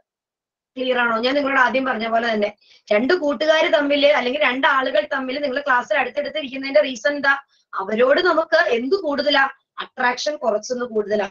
എന്നും പറഞ്ഞ് മറ്റേ അപ്പുറത്തിരിക്കുന്ന ആളോട് നമുക്ക് അട്രാക്ഷൻ ഇല്ല എന്നല്ല അതിന്റെ അർത്ഥം. അയാളോടുള്ളതിനേക്കാളും കൂടുതൽ താല്പര്യം മറ്റേ ആളോടാ. അത് തന്നെ നമ്മളിവിടെ പറയുന്നേ. അട്രാക്റ്റീവ് ഫോഴ്സ് കൊണ്ട് റിപ്പൾസീവ് ഫോഴ്സ് ഉണ്ട്. പക്ഷെ അട്രാക്റ്റീവ് ഫോഴ്സ് റിപ്പൾസീവ് ഫോഴ്സിനേക്കാളും കൂടുതലായത് കൊണ്ടിട്ടാണ് അവിടെ ഏത് മോളിക്യൂൾ ഫോം ചെയ്തേ? ഹൈഡ്രജൻ മോളിക്യൂൾ ഫോം ചെയ്തത്. ഇത് ഏതൊരു രണ്ട് ആറ്റം കമ്പൈൻ ചെയ്യുമ്പോഴും ഇതേ സെയിം കാര്യം തന്നെയുണ്ട്. അങ്ങനെയാണെങ്കിൽ ആൽബിൻ ഒന്ന് പറഞ്ഞേ.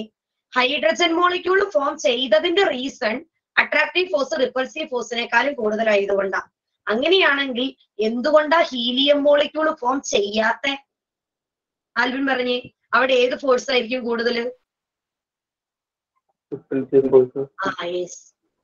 ഒരു മോളിക്യൂൾ ഫോം ചെയ്യുന്നില്ലെങ്കിൽ എന്തുകൊണ്ട് എന്നുള്ളത് ഇൻ ടേംസ് ഓഫ് ഫോഴ്സ് നമുക്ക് എക്സ്പ്ലെയിൻ ചെയ്യാൻ പറ്റും. ഫോം ചെയ്യാത്തതിന്റെ റീസൺ റിപ്പൽസീവ് ഫോഴ്സ് അട്രാക്റ്റീവ് ഫോഴ്സിനേക്കാളും കൂടുതലായതുകൊണ്ട്. രണ്ട് ആറ്റംസ് തമ്മിൽ കമ്പൈൻ ചെയ്ത് മോളിക്യൂൾ ഫോം ചെയ്യുന്നുണ്ടെങ്കിൽ അതിന്റെ റീസൺ എന്താ? അട്രാക്റ്റീവ് ഫോഴ്സ് റിപ്പൾസീവ് ഫോഴ്സിനേക്കാളും കൂടുതലാണ്. ക്ലിയർ ആണോ? പോയിന്റ് മനസ്സിലായോ? ഓക്കെ ആണോ? ഇതാണ് വി ബി തിയറിയിൽ ഏറ്റവും ഫസ്റ്റ് പറയുന്ന പോയിന്റ് അതായത് ആറ്റംസ് തമ്മിൽ അട്രാക്ഷൻ ഉണ്ടെങ്കിലേ അവിടെ മോളിക്യൂൾ ഫോം ചെയ്യത്തുള്ളൂ. ഓക്കെ ഇനി ആറ്റംസ് തമ്മിൽ കമ്പൈൻ ചെയ്ത് മോളിക്യൂൾ ഫോം ചെയ്യുന്നു. എന്തിനാ ആറ്റംസ് തമ്മിൽ കമ്പൈൻ ചെയ്ത് മോളിക്യൂൾ ആകുന്നേ? ആറ്റം അൺസ്റ്റേബിൾ ആകുന്ന സമയത്ത് അൺസ്റ്റേബിൾ ആയിട്ടുള്ള ഒരു ആറ്റം സ്റ്റേബിൾ ആകാൻ വേണ്ടിയിട്ടാണ് എന്തിന്റെ ഫോർമേഷൻ നടക്കുന്നത് മോളിക്യൂളിന്റെ ഫോർമേഷൻ നടക്കുന്നത് ഓൾറെഡി സ്റ്റേബിൾ ആയിട്ടുള്ള ഒരു ആറ്റം എന്ത് ഫോം ചെയ്യത്തില്ല? മോളിക്യൂൾ ഫോം ചെയ്യത്തില്ല. ശരിയല്ലേ മക്കളെ?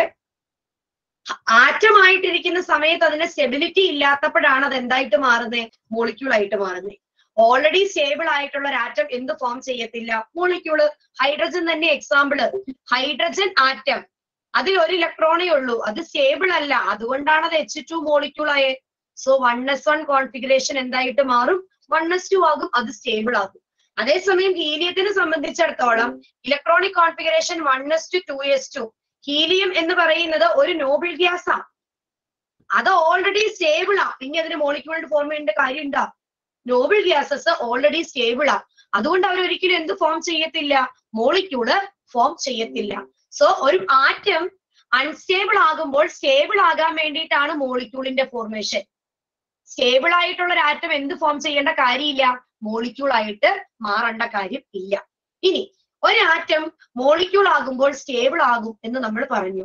സ്റ്റെബിലിറ്റി കൂടുന്തോറും അതിന്റെ എനർജി എന്താ ചെയ്യുന്നത്? അഫ്സാന പറഞ്ഞേ സ്റ്റെബിലിറ്റി കൂടുമ്പോൾ എനർജി എന്ത് ചെയ്യും? കൂടുമോ? കുറയും. സ്റ്റേബിൾ ആകുന്തോറും നമ്മുടെ എനർജി എന്ത് ചെയ്യും? കുറയും. നമ്മൾ എവിടെയെങ്കിലും ചടഞ്ഞുകൂടി എവിടെയെങ്കിലും പോയി കിടക്കാന്ന് വിചാരിക്കുക.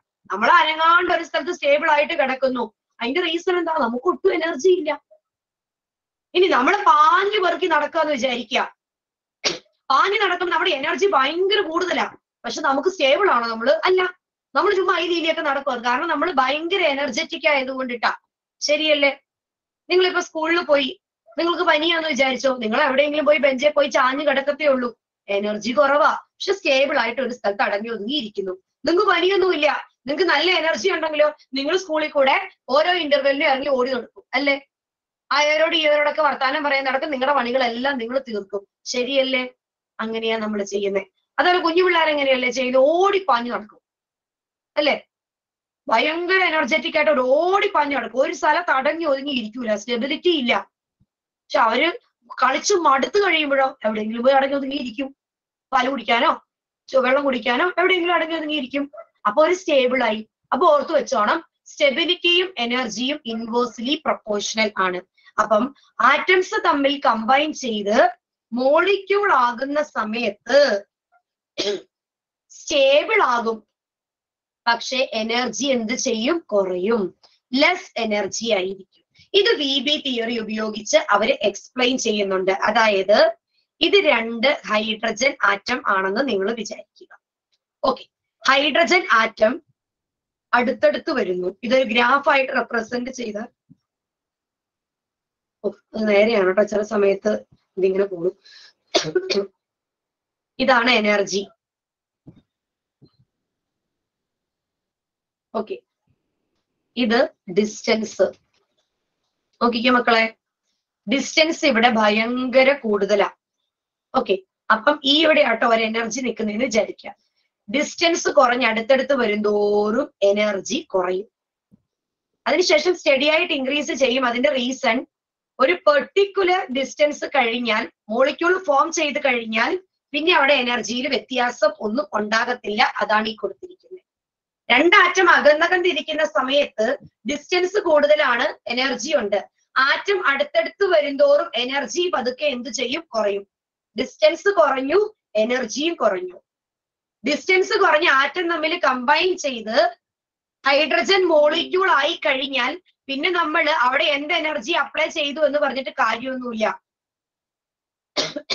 ഓക്കെ അപ്പം ഈ ഒരു എനർജി എന്ന് പറയുന്നത് ഹൈഡ്രജൻ മോളിക്യൂളിന്റെ കേസിൽ the energy it is four thirty five point eight kilo joule hydrogen molecule form ചെയ്യുമ്പോൾ ഉള്ള ഡിസ്റ്റൻസ് എന്ന് പറയുന്നത് it is seventy four picometer hydrogen hydrogen bond length seventy four picometer ആ ബോണ്ടിന്റെ എനർജി എന്ന് പറയുന്നത് ഇങ്ങനെ റെപ്രസെന്റ് ചെയ്യുന്ന ടീച്ചർ പറഞ്ഞു it is four thirty five point eight kilo joule per mole of energy V B തിയറിയുടെ ഈ ഗ്രാഫ് വരയ്ക്കാൻ ചോദിക്കാറുണ്ട് കേട്ടോ പ്രീവിയസ് ഇയറിനകത്ത് ഒരു ക്വസ്റ്റ്യൻ ഉണ്ട്. Explain the formation of hydrogen molecule using V B theory V B theory ഉപയോഗിച്ച് hydrogen മോളിക്യൂളിന്റെ formation വരയ്ക്കുക എന്ന് പറഞ്ഞിട്ട് എക്സ്പ്ലെയിൻ ചെയ്യാൻ സ്ട്രക്ചർ എക്സ്പ്ലെയിൻ ചെയ്യാൻ പറഞ്ഞ ക്വസ്റ്റ്യൻ ഉണ്ട്. കൺസെപ്റ്റ് ഇത്രേ ഉള്ളൂ. ആറ്റംസ് തമ്മിൽ കമ്പൈൻ ചെയ്യുമ്പോൾ മോളിക്യൂൾ ആകും. സ്റ്റേബിൾ ആയിട്ടുള്ള മോളിക്യൂൾ കിട്ടും. അവിടെ അട്രാക്റ്റീവ് ഫോഴ്സ് റിപ്പൽസീവ് ഫോഴ്സിനേക്കാളും കൂടുതൽ ആണ്. ഡിസ്റ്റൻസ് കുറഞ്ഞ് ആറ്റംസ് അടുത്തടുത്ത് വരുമ്പോൾ സ്റ്റേബിൾ ആയിട്ടുള്ള മോളിക്യൂൾ കിട്ടും. പക്ഷെ അവിടെ എനർജി എങ്ങനെയായിരിക്കും? കുറവായിരിക്കും. ഒരു പെർട്ടിക്കുലർ ഡിസ്റ്റൻസ് ഒരു മിനിമം ഡിസ്റ്റൻസ് വരെ എത്തിക്കഴിഞ്ഞാൽ പിന്നെ എനർജിയിൽ വ്യത്യാസം ഒന്നും ഉണ്ടാകത്തില്ല. കാരണം മോളിക്യൂളിന്റെ ഫോർമേഷൻ കഴിഞ്ഞു. മോളിക്യൂൾ ഫോം ചെയ്ത് കഴിഞ്ഞിട്ട് പിന്നെ എന്തോ ഒരു എനർജി കുറഞ്ഞു എന്ന് പറഞ്ഞിട്ട് കാര്യമില്ല. മോളിക്യൂൾ ഫോം ചെയ്യുന്ന സമയത്ത് എന്താണോ എനർജി അതാണ് നമ്മൾ കൺസിഡർ ചെയ്യുന്നത്. ഹൈഡ്രജൻ മോളിക്യൂളിന്റെ ബോണ്ട് എനർജി എന്ന് പറയുന്നത് it is four thirty five point eight kilo joule per bond and the bond length it is seventy four picometer clear ആണോ വി ബി തിയറിയിൽ ആദ്യം ഹൈഡ്രജൻ മോളിക്യൂളിന്റെ ഫോർമേഷനെ പറ്റിയാണ് പറയുന്നത്. ഇത് ക്വസ്റ്റ്യൻ ചോദിക്കാറുണ്ട്. സോ ഇമ്പോർട്ടന്റ് ആണ്. സോ ടെക്സ്റ്റ് ബുക്ക് എല്ലാവരും എടുക്കുക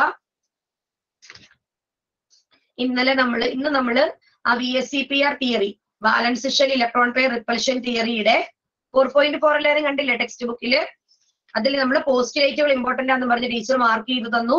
Repulsive interaction then table four point six table four point seven then table four point eight table four point എയ്റ്റിലെ N H ത്രീയും എച്ച് ടുഒയും മാത്രം. അതിനുശേഷം four point five it is valence bond theory ആ valence bond തിയറിയുടെ ആ പോർഷനിൽ ആ പേജിന്റെ എൻഡിൽ കൊടുത്തിരിക്കുന്ന പാരഗ്രാഫ് എല്ലാവരും നോക്കുക. അവിടെയാണ് ഹൈഡ്രജൻ മോളിക്യൂളിന്റെ ഫോർമേഷനെ പറ്റി പറഞ്ഞിരിക്കുന്നത് കേട്ടോ. ഫാദിയോ ഒന്ന് വായിച്ച മോളെ. കൺസിഡർ ടു ഹൈഡ്രജൻ ആറ്റംസ് എല്ലാവരും കണ്ടോ? അതാണ് ഹൈഡ്രജൻ മോളിക്യൂളിന്റെ ഫോർമേഷൻ എക്സ്പ്ലനേഷൻ ചോദിച്ചാൽ ഇത് നോക്കി പഠിച്ചോണം. ഫാദിയ വായിച്ച മോളെ consider two four point five four point five. Valence bond theory ഏ. അതിൽ ആ പേജിന്റെ എൻഡിലായിട്ടുള്ള paragraph consider two hydrogen atom എന്നും പറഞ്ഞിട്ട് കണ്ടു. Consider two hydrogen atoms A and B approaching each other having nuclei Na and Nb and electrons present in them are represented by Ea and Eb. When the two atoms are at large distance from each other, there is no interaction between them. As these two atoms approach each other, new attractive and repulsive forces begin to operate. Attractive forces arise between first one nucleus of one atom and its own electron, that is Na. Miss അത് minus ആണോ? അല്ല മോളെ ഒരു ആറ്റത്തിന്റെ ന്യൂക്ലിയസും മറ്റേ ആറ്റത്തിന്റെ ന്യൂക്ലിയസും തമ്മിൽ repulsion sorry മറ്റേ ആറ്റത്തിന്റെ ഇലക്ട്രോണും തമ്മിലുള്ള റിപ്പൽഷനും അട്രാക്ഷനും കാണിച്ചിരിക്കുന്നത്. മൈനസ് അല്ല അവർ തമ്മിൽ എന്നുള്ളതാണ് കാണിച്ചിരിക്കുന്നത് ബിറ്റ്വീൻ ഏതാ nucleus? Of one atom and its own electron that is attractive force ഏതൊക്കെയാണെന്നാ പറയുന്നത്? ഒരാറ്റത്തിന്റെ ന്യൂക്ലിയസും അതിന്റെ ഇലക്ട്രോണും തമ്മിൽ എന്തുണ്ട്? അട്രാക്ഷൻ ഉണ്ട്. അത് ഞാൻ അവിടെ കാണിച്ചില്ല എന്ന് മാത്രമേ ഉള്ളൂ കേട്ടോ യെസ് വായിച്ചോ second one nucleus of one atom and electron of other atom yes ഒരാറ്റത്തിന്റെ ന്യൂക്ലിയസും മറ്റേ ആറ്റത്തിന്റെ ഇലക്ട്രോണും തമ്മിലും അട്രാക്ഷൻ ഉണ്ട്. അതായത് ഓപ്പോസിറ്റ് ചാർജ് ഉള്ളവർ തമ്മിൽ അട്രാക്ഷൻ അത് എത്ര വേണമെങ്കിലും നമുക്ക് വരയ്ക്കാം. Okay similarly Similarly, repulsive forces arise between first one, electrons of two atoms like Ea and Eb, nuclei of two atoms Na and Nb. Attractive attractive forces tend to bring the two atoms close to each other, whereas repulsive forces tend to push them apart. Yes attractive ഫോഴ്സും ഉണ്ട് repulsive ഫോഴ്സും ഉണ്ട് okay Mleiha അതിന്റെ ബാക്കിയൊന്ന് വായിച്ച മോളെ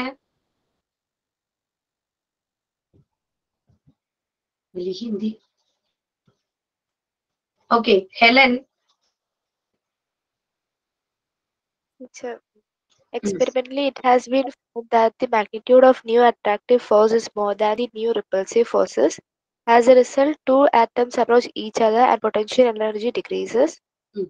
Ultimately, a stage is reached where the uh, net force of attraction balances the force of repulsion and system acquires minimum energy.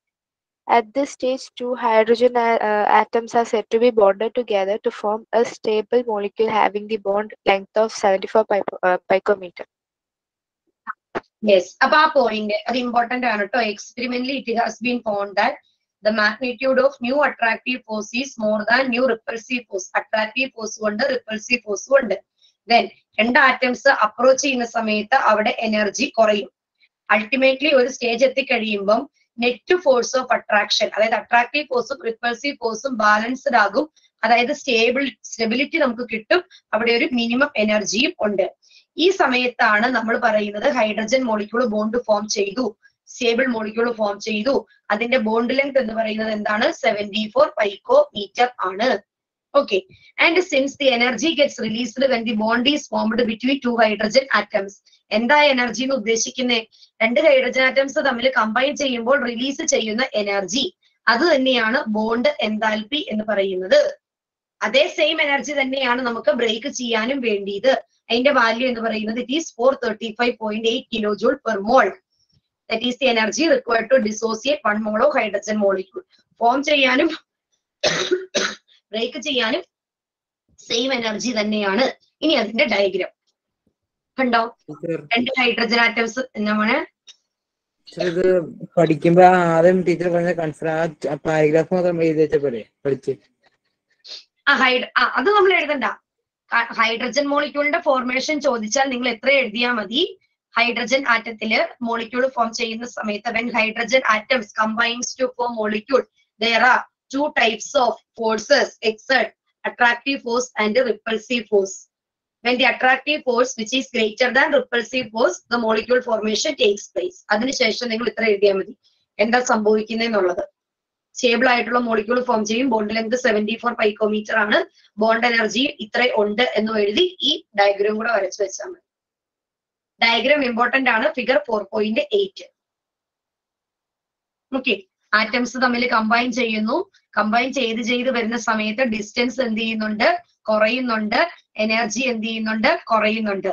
Energy ഒരു four thirty five point eight ആകുമ്പോഴത്തേക്കും distance seventy four picometer ആകും. അന്നേരം നമുക്ക് stable ആയിട്ടുള്ള ഒരു molecule കിട്ടും.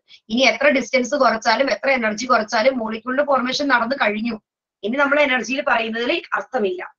Seventy four picometre ഡിസ്റ്റൻസും four thirty five point eight kilo joule per mole എനർജിയും ആയപ്പോഴത്തേക്കും തന്നെ മോളിക്യൂളിന്റെ ഫോർമേഷൻ കഴിഞ്ഞു അതിനുശേഷം ആ എനർജി ആ സ്റ്റീപ്പായിട്ട് മേളിലോട്ട് കയറി പോകുന്നു. അത്രയേ ഉള്ളൂ. പിടി കിട്ടിയോ? പിടി കിട്ടിയോ? ഡൗട്ട് ഉണ്ടോ? ഉണ്ടോ സജിതേ? ഇല്ല. ഓക്കെ ആണല്ലോ. ഓക്കെ അപ്പൊ എല്ലാരും ഇനി പി വൈക്കും എടുത്തേ. പ്രീവിയസ് ഇയർ ക്വസ്റ്റ്യൻ പേപ്പർ എടുത്തേ. അത് അതിന്റെ അകത്ത് റിലേറ്റഡ് ആയിട്ടുള്ള ക്വസ്റ്റ്യൻസ് പറഞ്ഞതിന് ശേഷം ഓർബിറ്റൽ ഓവർലാപ്പ് കൺസെപ്റ്റിലോട്ട് പോകാം.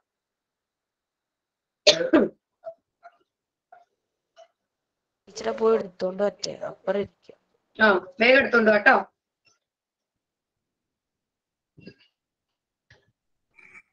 ടീച്ചർ. ആ. ആരും താമസിക്കരുത്. പെട്ടെന്ന് എടുത്തോണ്ട് പോവാ ഇതെന്തിനാ നിങ്ങൾ ഈ പി വൈക്ക് വല്ല വഴിക്കും കൊണ്ടു വെച്ചിരിക്കുന്നേ? അതാ ബുക്കിന്റെ സൈഡിൽ വേണം. ഇല്ല കേട്ടോ. കേട്ടില്ല മോനെ? കിട്ടിയില്ലേ? പി വൈക്യു മേടിക്കണം. നിങ്ങളുടെ ഗ്രൂപ്പിൽ ഇട്ട് തരും. നിങ്ങൾ ചോദിച്ചാൽ മതി. ഇന്ന് തന്നെ ചോദിക്കാം. പുതിയതായിട്ട് ജോയിൻ ചെയ്തവരെല്ലാവരും പി വൈക്യുവിന്റെ പി ഡി എഫ് ഓഫീസിൽ വിളിച്ച് ചോദിക്കുക. നിങ്ങൾക്ക് വാട്സപ്പിൽ ഇട്ട് തരും. നിങ്ങൾക്ക് പ്രിന്റ് എടുത്ത് വെക്കാം. അത് നമുക്ക് എപ്പോഴും ആവശ്യമുള്ളതാണ് കേട്ടോ. ഓക്കെ.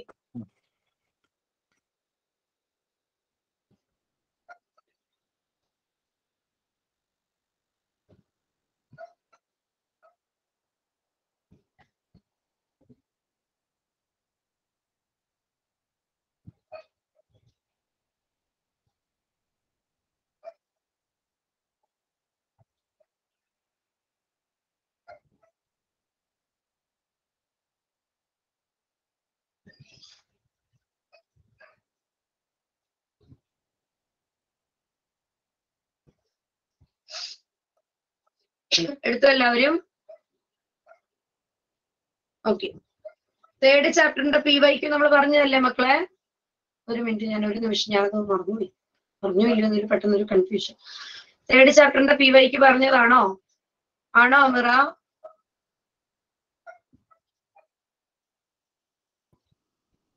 മിറ തേർഡ് ചാപ്റ്ററിന്റെ പി വൈക്ക് പറഞ്ഞതാണോ? ആരെങ്കിലും ഓർമ്മയുള്ളവർ പറയൂ. ഹന്ന? പറഞ്ഞില്ലായിരുന്നു. പറഞ്ഞില്ലേ?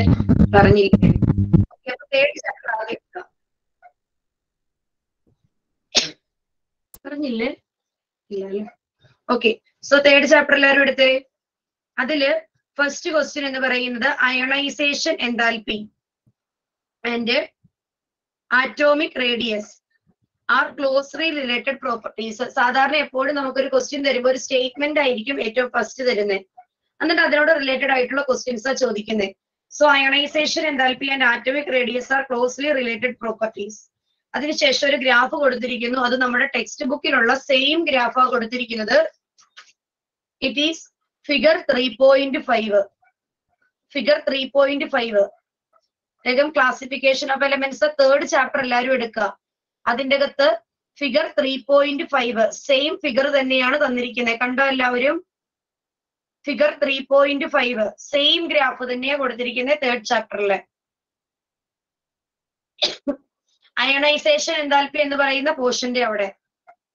ഓക്കെ എന്നിട്ട് അത് വെച്ചിട്ടുള്ള ക്വസ്റ്റ്യനാ ചോദിച്ചിരിക്കുന്നത് what conclusion can you derive from the graph regarding the first ionization enthalpy of alkali metals and noble gas അതിന്റെ തൊട്ട് താഴെയുള്ള പാരഗ്രാഫിൽ ഈ വക കാര്യങ്ങളെല്ലാം ഞാൻ മാർക്ക് ചെയ്ത് തന്നതാ. ആൽക്കലി മെറ്റൽസിന് ഫസ്റ്റ് അയണൈസേഷൻ എന്താൽപി കുറവാണ് കാരണം സൈസ് കൂടുതൽ ആയതുകൊണ്ട്. അതേസമയം നോബിൾ ഗ്യാസിന് ഫസ്റ്റ് അയണൈസേഷൻ എന്താൽപി കൂടുതലാണ് കാരണം സ്റ്റേബിൾ കോൺഫിഗറേഷൻ ക്ലിയർ ആണല്ലോ? അപ്പൊ ക്വസ്റ്റ്യൻ പേപ്പറിൽ തന്നെ നിങ്ങൾ എഴുതി വെച്ചാൽ മതി. ആൽക്കലി മെറ്റൽസിന്റെ അവിടെ ഒരു ഹൈഫൻ ഇട്ടിട്ട് അവിടെ തന്നെ നോട്ട് ചെയ്ത് വെച്ചാൽ മതി. Due to larger size alkali മെറ്റൽസിന് size കൂടുതലായത് കൊണ്ടാണ് അയണൈസേഷൻ എന്താൽപി കുറവ് വന്നത്. നോബിൾ ഗ്യാസിനെ സംബന്ധിച്ചിടത്തോളം എന്താ? Stable configuration. നോബിൾ ഗ്യാസിന് ഇതിന്റെ ഇത് ചുമ്മാ പോയിന്റ് എഴുതി വെച്ചാൽ പോരാട്ടോ. നിങ്ങൾ ഇപ്പൊ എഴുതുമ്പോ പോയിന്റ് നോട്ട് ചെയ്ത് പോകുക. ഡീറ്റെയിൽഡ് ആയിട്ടുള്ള എക്സ്പ്ലനേഷൻ ഞാൻ നമ്മുടെ നോട്ടിൽ എഴുതി പോയതാണ്. ടെക്സ്റ്റ് ബുക്കിൽ മാർക്ക് ചെയ്തെന്ന നോബിൾ ഗ്യാസിന് സ്റ്റേബിൾ കോൺഫിഗറേഷൻ. ആ ബി എന്ന് പറയുന്ന ക്വസ്റ്റ്യൻ ഇൻഡു ചെയ്തിട്ട് വെക്കളെ ഇട്ടേ. അത് പി ബ്ലോക്ക് എന്ന് പറയുന്ന ചാപ്റ്ററിൽ വരുന്ന ക്വസ്റ്റ്യനാ ഈ ക്ലാസിഫിക്കേഷൻ ഓഫ് എലമെന്റ്സിന്റെ അകത്ത് ഈ ക്വസ്റ്റ്യൻ ഒക്കെ വരാൻ കാരണം നമുക്ക് ടെക്സ്റ്റ് ബുക്കിലെ S block P block hydrogen എന്ന് പറഞ്ഞിട്ട് മൂന്ന് ചാപ്റ്റർ പഠിക്കാനുണ്ട്. ഈ മൂന്ന് ചാപ്റ്ററും ക്ലാസിഫിക്കേഷൻ ഓഫ് എലമെന്റ്സിന്റെ ബാക്കിയായിട്ട് വരുന്നതാ. സോ ഈ നാല് ചാപ്റ്ററും കൂടെ ക്ലബ് ചെയ്തിട്ടുള്ള ക്വസ്റ്റ്യൻ ആണ് എപ്പോഴും വരുന്നത് ക്ലാസിഫിക്കേഷൻ ഓഫ് എലമെന്റ്സ് ശരിക്കും പഠിച്ചാലേ ആ ഹൈഡ്രജനും എസും പിയും ഒക്കെ മനസ്സിലാവുകയുള്ളൂ. Okay then second question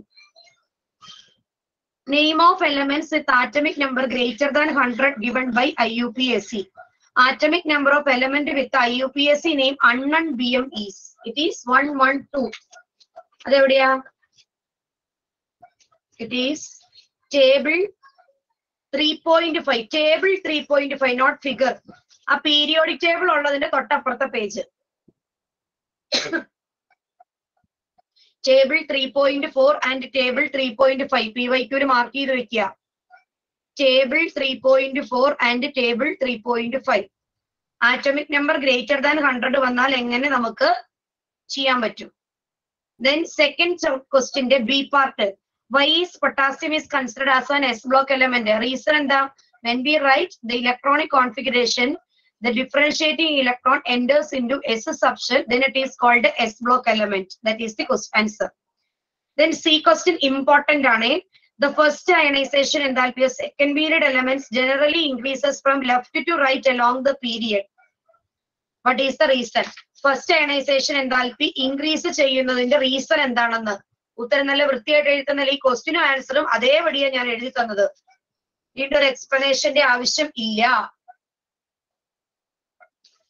എന്താ അതിന്റെ reason from left to right size decreases nuclear charge increases attraction between electron and nucleus increases that is why first ionization enthalpy generally increases from left to right third question transition elements അതായത് D block elements group three തൊട്ട് group twelve വരെയാ. ഏതെങ്കിലും രണ്ട് characteristics പറയാൻ transition എലമെന്റ്സിന്റെ എന്തൊക്കെ പ്രോപ്പർട്ടീസാ ഉള്ളേ? ആ catalyst ആയിട്ട് നമ്മൾ യൂസ് ചെയ്യാറുണ്ട്. മെറ്റൽസ് ആണ് അവർ. സോ മെറ്റൽസിന്റെ എല്ലാ പ്രോപ്പർട്ടി അവർ കാണിക്കും. മാല്യബിലിറ്റി ഡക്റ്റിലിറ്റി ഇലക്ട്രിക്കൽ കണ്ടക്ടിവിറ്റി ഇതെല്ലാം കാണിക്കും. ട്രാൻസിഷൻ എലമെന്റ്സ് ആ ഒരു പോയിന്റ് വരുന്നത് three point six point three three point six point three അതുപോലെ തന്നെ പോയിന്റ് ത്രീ ആ ഒരു സെക്ഷന്റെ അകത്താ വരുന്നത് അടുത്തത്.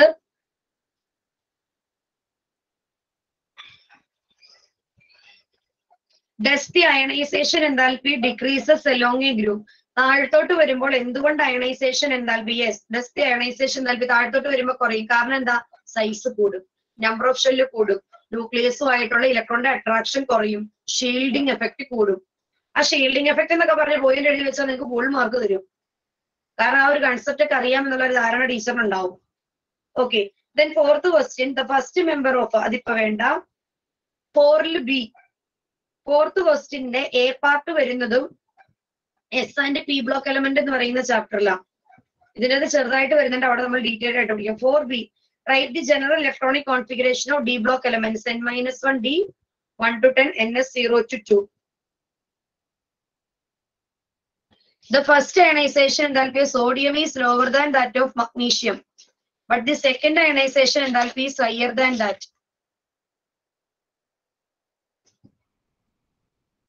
First ionisation enthalpy കൂടുതലും സെക്കൻഡ് അയണൈസേഷൻ എന്താൽപി കുറവാ കാരണം എന്താ ഇത് ഞാൻ എഴുതി തന്ന സോഡിയത്തിന്റെയും മഗ്നീഷ്യത്തിന്റെയും കമ്പാരിസൺ സ്റ്റേബിൾ കോൺഫിഗറേഷൻ ആണെങ്കിൽ അയണൈസേഷൻ എന്താൽപി എങ്ങനെയായിരിക്കും? കൂടുതൽ ആയിരിക്കും.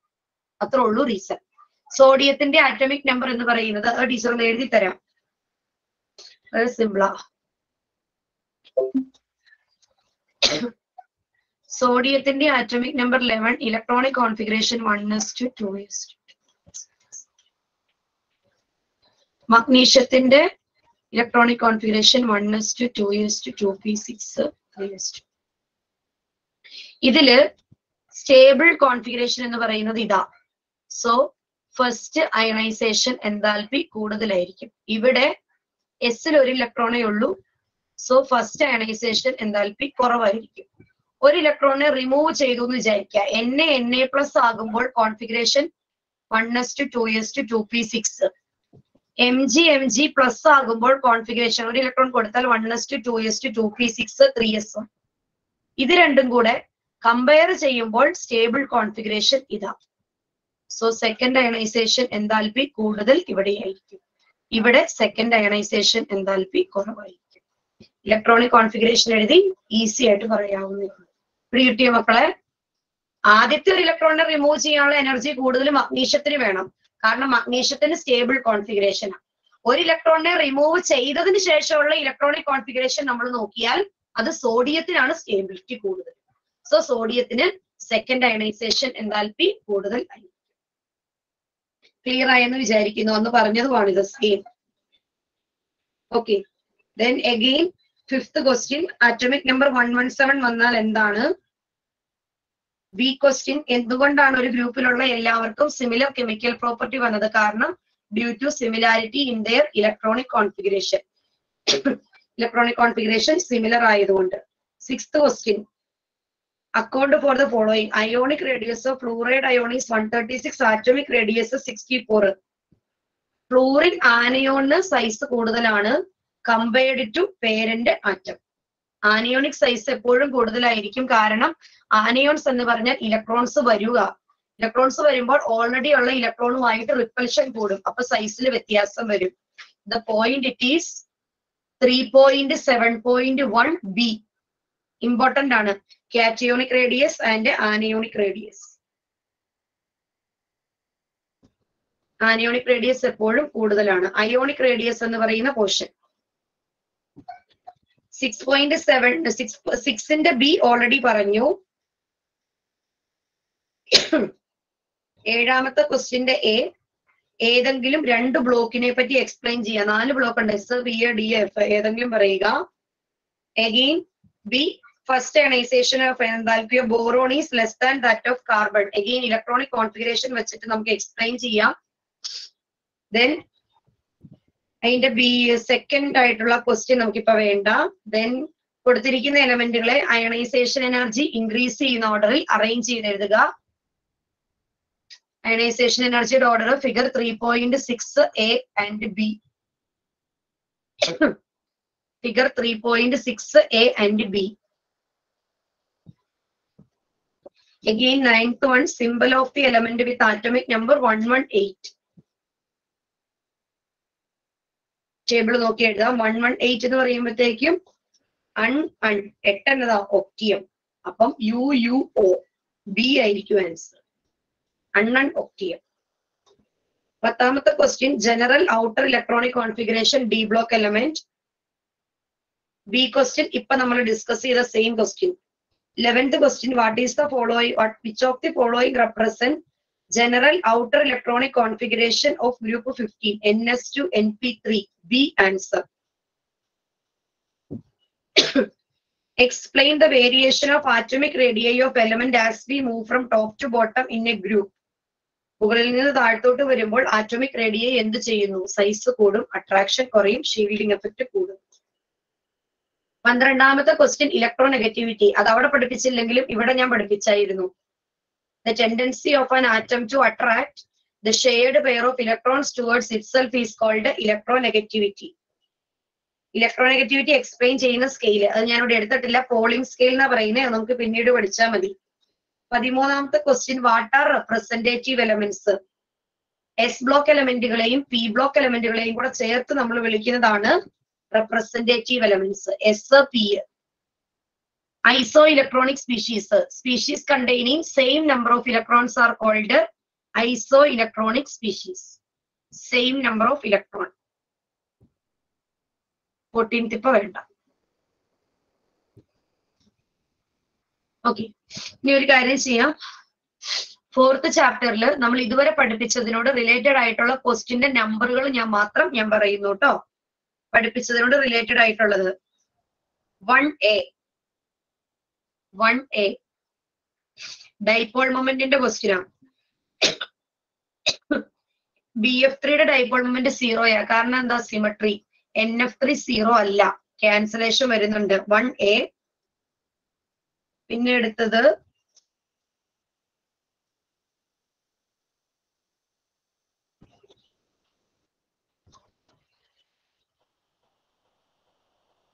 six A six A The shape of the molecule is based on BSEPR theory. Give the features of this theory. അത് പോസ്റ്റുലേറ്റ് തന്നെയാണ് ഫീച്ചേഴ്സ് മാർക്ക് ചെയ്ത് തന്നതാ. Six B ഇന്നെടുത്തത്. Draw the potential energy curve for the formation of hydrogen molecule on the basis of internuclear distance of the hydrogen atom ഇന്ന് ഇപ്പൊ പഠിപ്പിച്ചത്. B B theory ഉപയോഗിച്ചിട്ടുള്ള explanation അടുത്തത് ഏഴ് A helium molecule cannot be exist as a molecule why B question പഠിപ്പിച്ചതാ. State Fajans rule C എടുത്തിട്ടില്ല. എട്ടാമത്തെ question എടുത്തതാ. Dipole moment B F two zero why H two one point eight five D by explain ചെയ്യുക. Then പത്താമത്തെ question P S C P R theory is used to predict shape and bond angle of molecule write the postulate പറഞ്ഞതാണ്. Explain the shape and bond angle of N H three ഇന്ന് പഠിപ്പിച്ചത്. P C L five molecule is unsymmetric അത് ആ structure വരയ്ക്കുമ്പോൾ അറിയാൻ പറ്റും.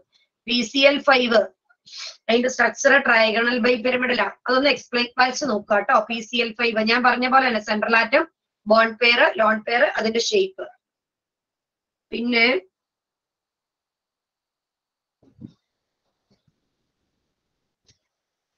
പതിനഞ്ചാമത്തേതിന്റെ B B C L two zero dipole moment linear geometry sixteenth question valence electron pair repulsion theory explain the shape of N H three and H two O അവിടെ ഒരു concept പറയുന്നുണ്ട് hybridisation അത് നമ്മൾ ഈ V B തിയറിക്കകത്ത് പഠിക്കും. പതിനേഴാമത്തെ question with the help of Fajans rule explain by ionic compound L I സിയിൽ exhibit covalent character due to small size of lithium ion and larger size of C L minus ion ഇരുപതാമത്തെ question explain the structure of H two molecule on the basis of B S C P R theory അത്രേ ഉള്ളൂ. കണ്ടോ? B S C P R തിയറിക്കകത്ത് എന്തോരം ക്വസ്റ്റ്യനാ ഇപ്പൊ നമ്മൾ പഠിച്ച അത്രയും പോർഷനിൽ എന്തുമാത്രം ക്വസ്റ്റ്യനാ ചോദിച്ചേക്കണേ? ഡൈപ്പോൾ മൊമെന്റ് ചോദിച്ചിട്ടുണ്ട്. ഇഷ്ടംപോലെ ഡൈപോൾ മൂവ്മെന്റിന്റെ ക്വസ്റ്റ്യൻ ഉണ്ട്. ഫജാൻസ് റൂൾ ചോദിച്ചു P S C P R തിയറിക്കകത്ത് എന്തോരം ക്വസ്റ്റ്യനാ പ്രീവിയസ് ഇയറിൽ വന്നേക്കണേ? എല്ലാ കൊല്ലവും ക്വസ്റ്റ്യൻ ചോദിക്കാറുണ്ട് P S C P R തിയറിക്കകത്ത് കേട്ടോ? അപ്പൊ നാളെ വരുമ്പം P S C P R theory നന്നായി പഠിച്ചിട്ട് വരിക. ഹൈഡ്രജൻ മോളിക്യൂളിന്റെ ഫോർമേഷനും എക്സ്പ്ലെയിൻ ചെയ്യാനായിട്ട് പഠിച്ചിട്ട് വരിക. കേട്ടോ? Okay so thank you and good night doubt ഉണ്ടെങ്കിൽ നാളെ വരുമ്പോൾ ക്ഷണിക്കുക Thank you, miss. Thank you. Thank you. Thank you. Thank you, miss.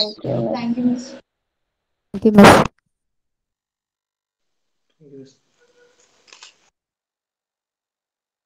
Teacher, yes teacher, self സ്റ്റഡിക്ക് പറ്റിയ എൻട്രൻസിന്റെ ബുക്ക് വല്ലതും ഉണ്ടോ കെമിസ്ട്രി സെൽഫ് സ്റ്റഡിക്ക് പറ്റിയ എൻട്രൻസിന്റെ ബുക്കോ ഏതെങ്കിലും ഗൈഡ് ആണോ നമ്മൾ ഉദ്ദേശിച്ചത് പ്രദീപിന്റെ നല്ലതാ. ആണോ? ആ.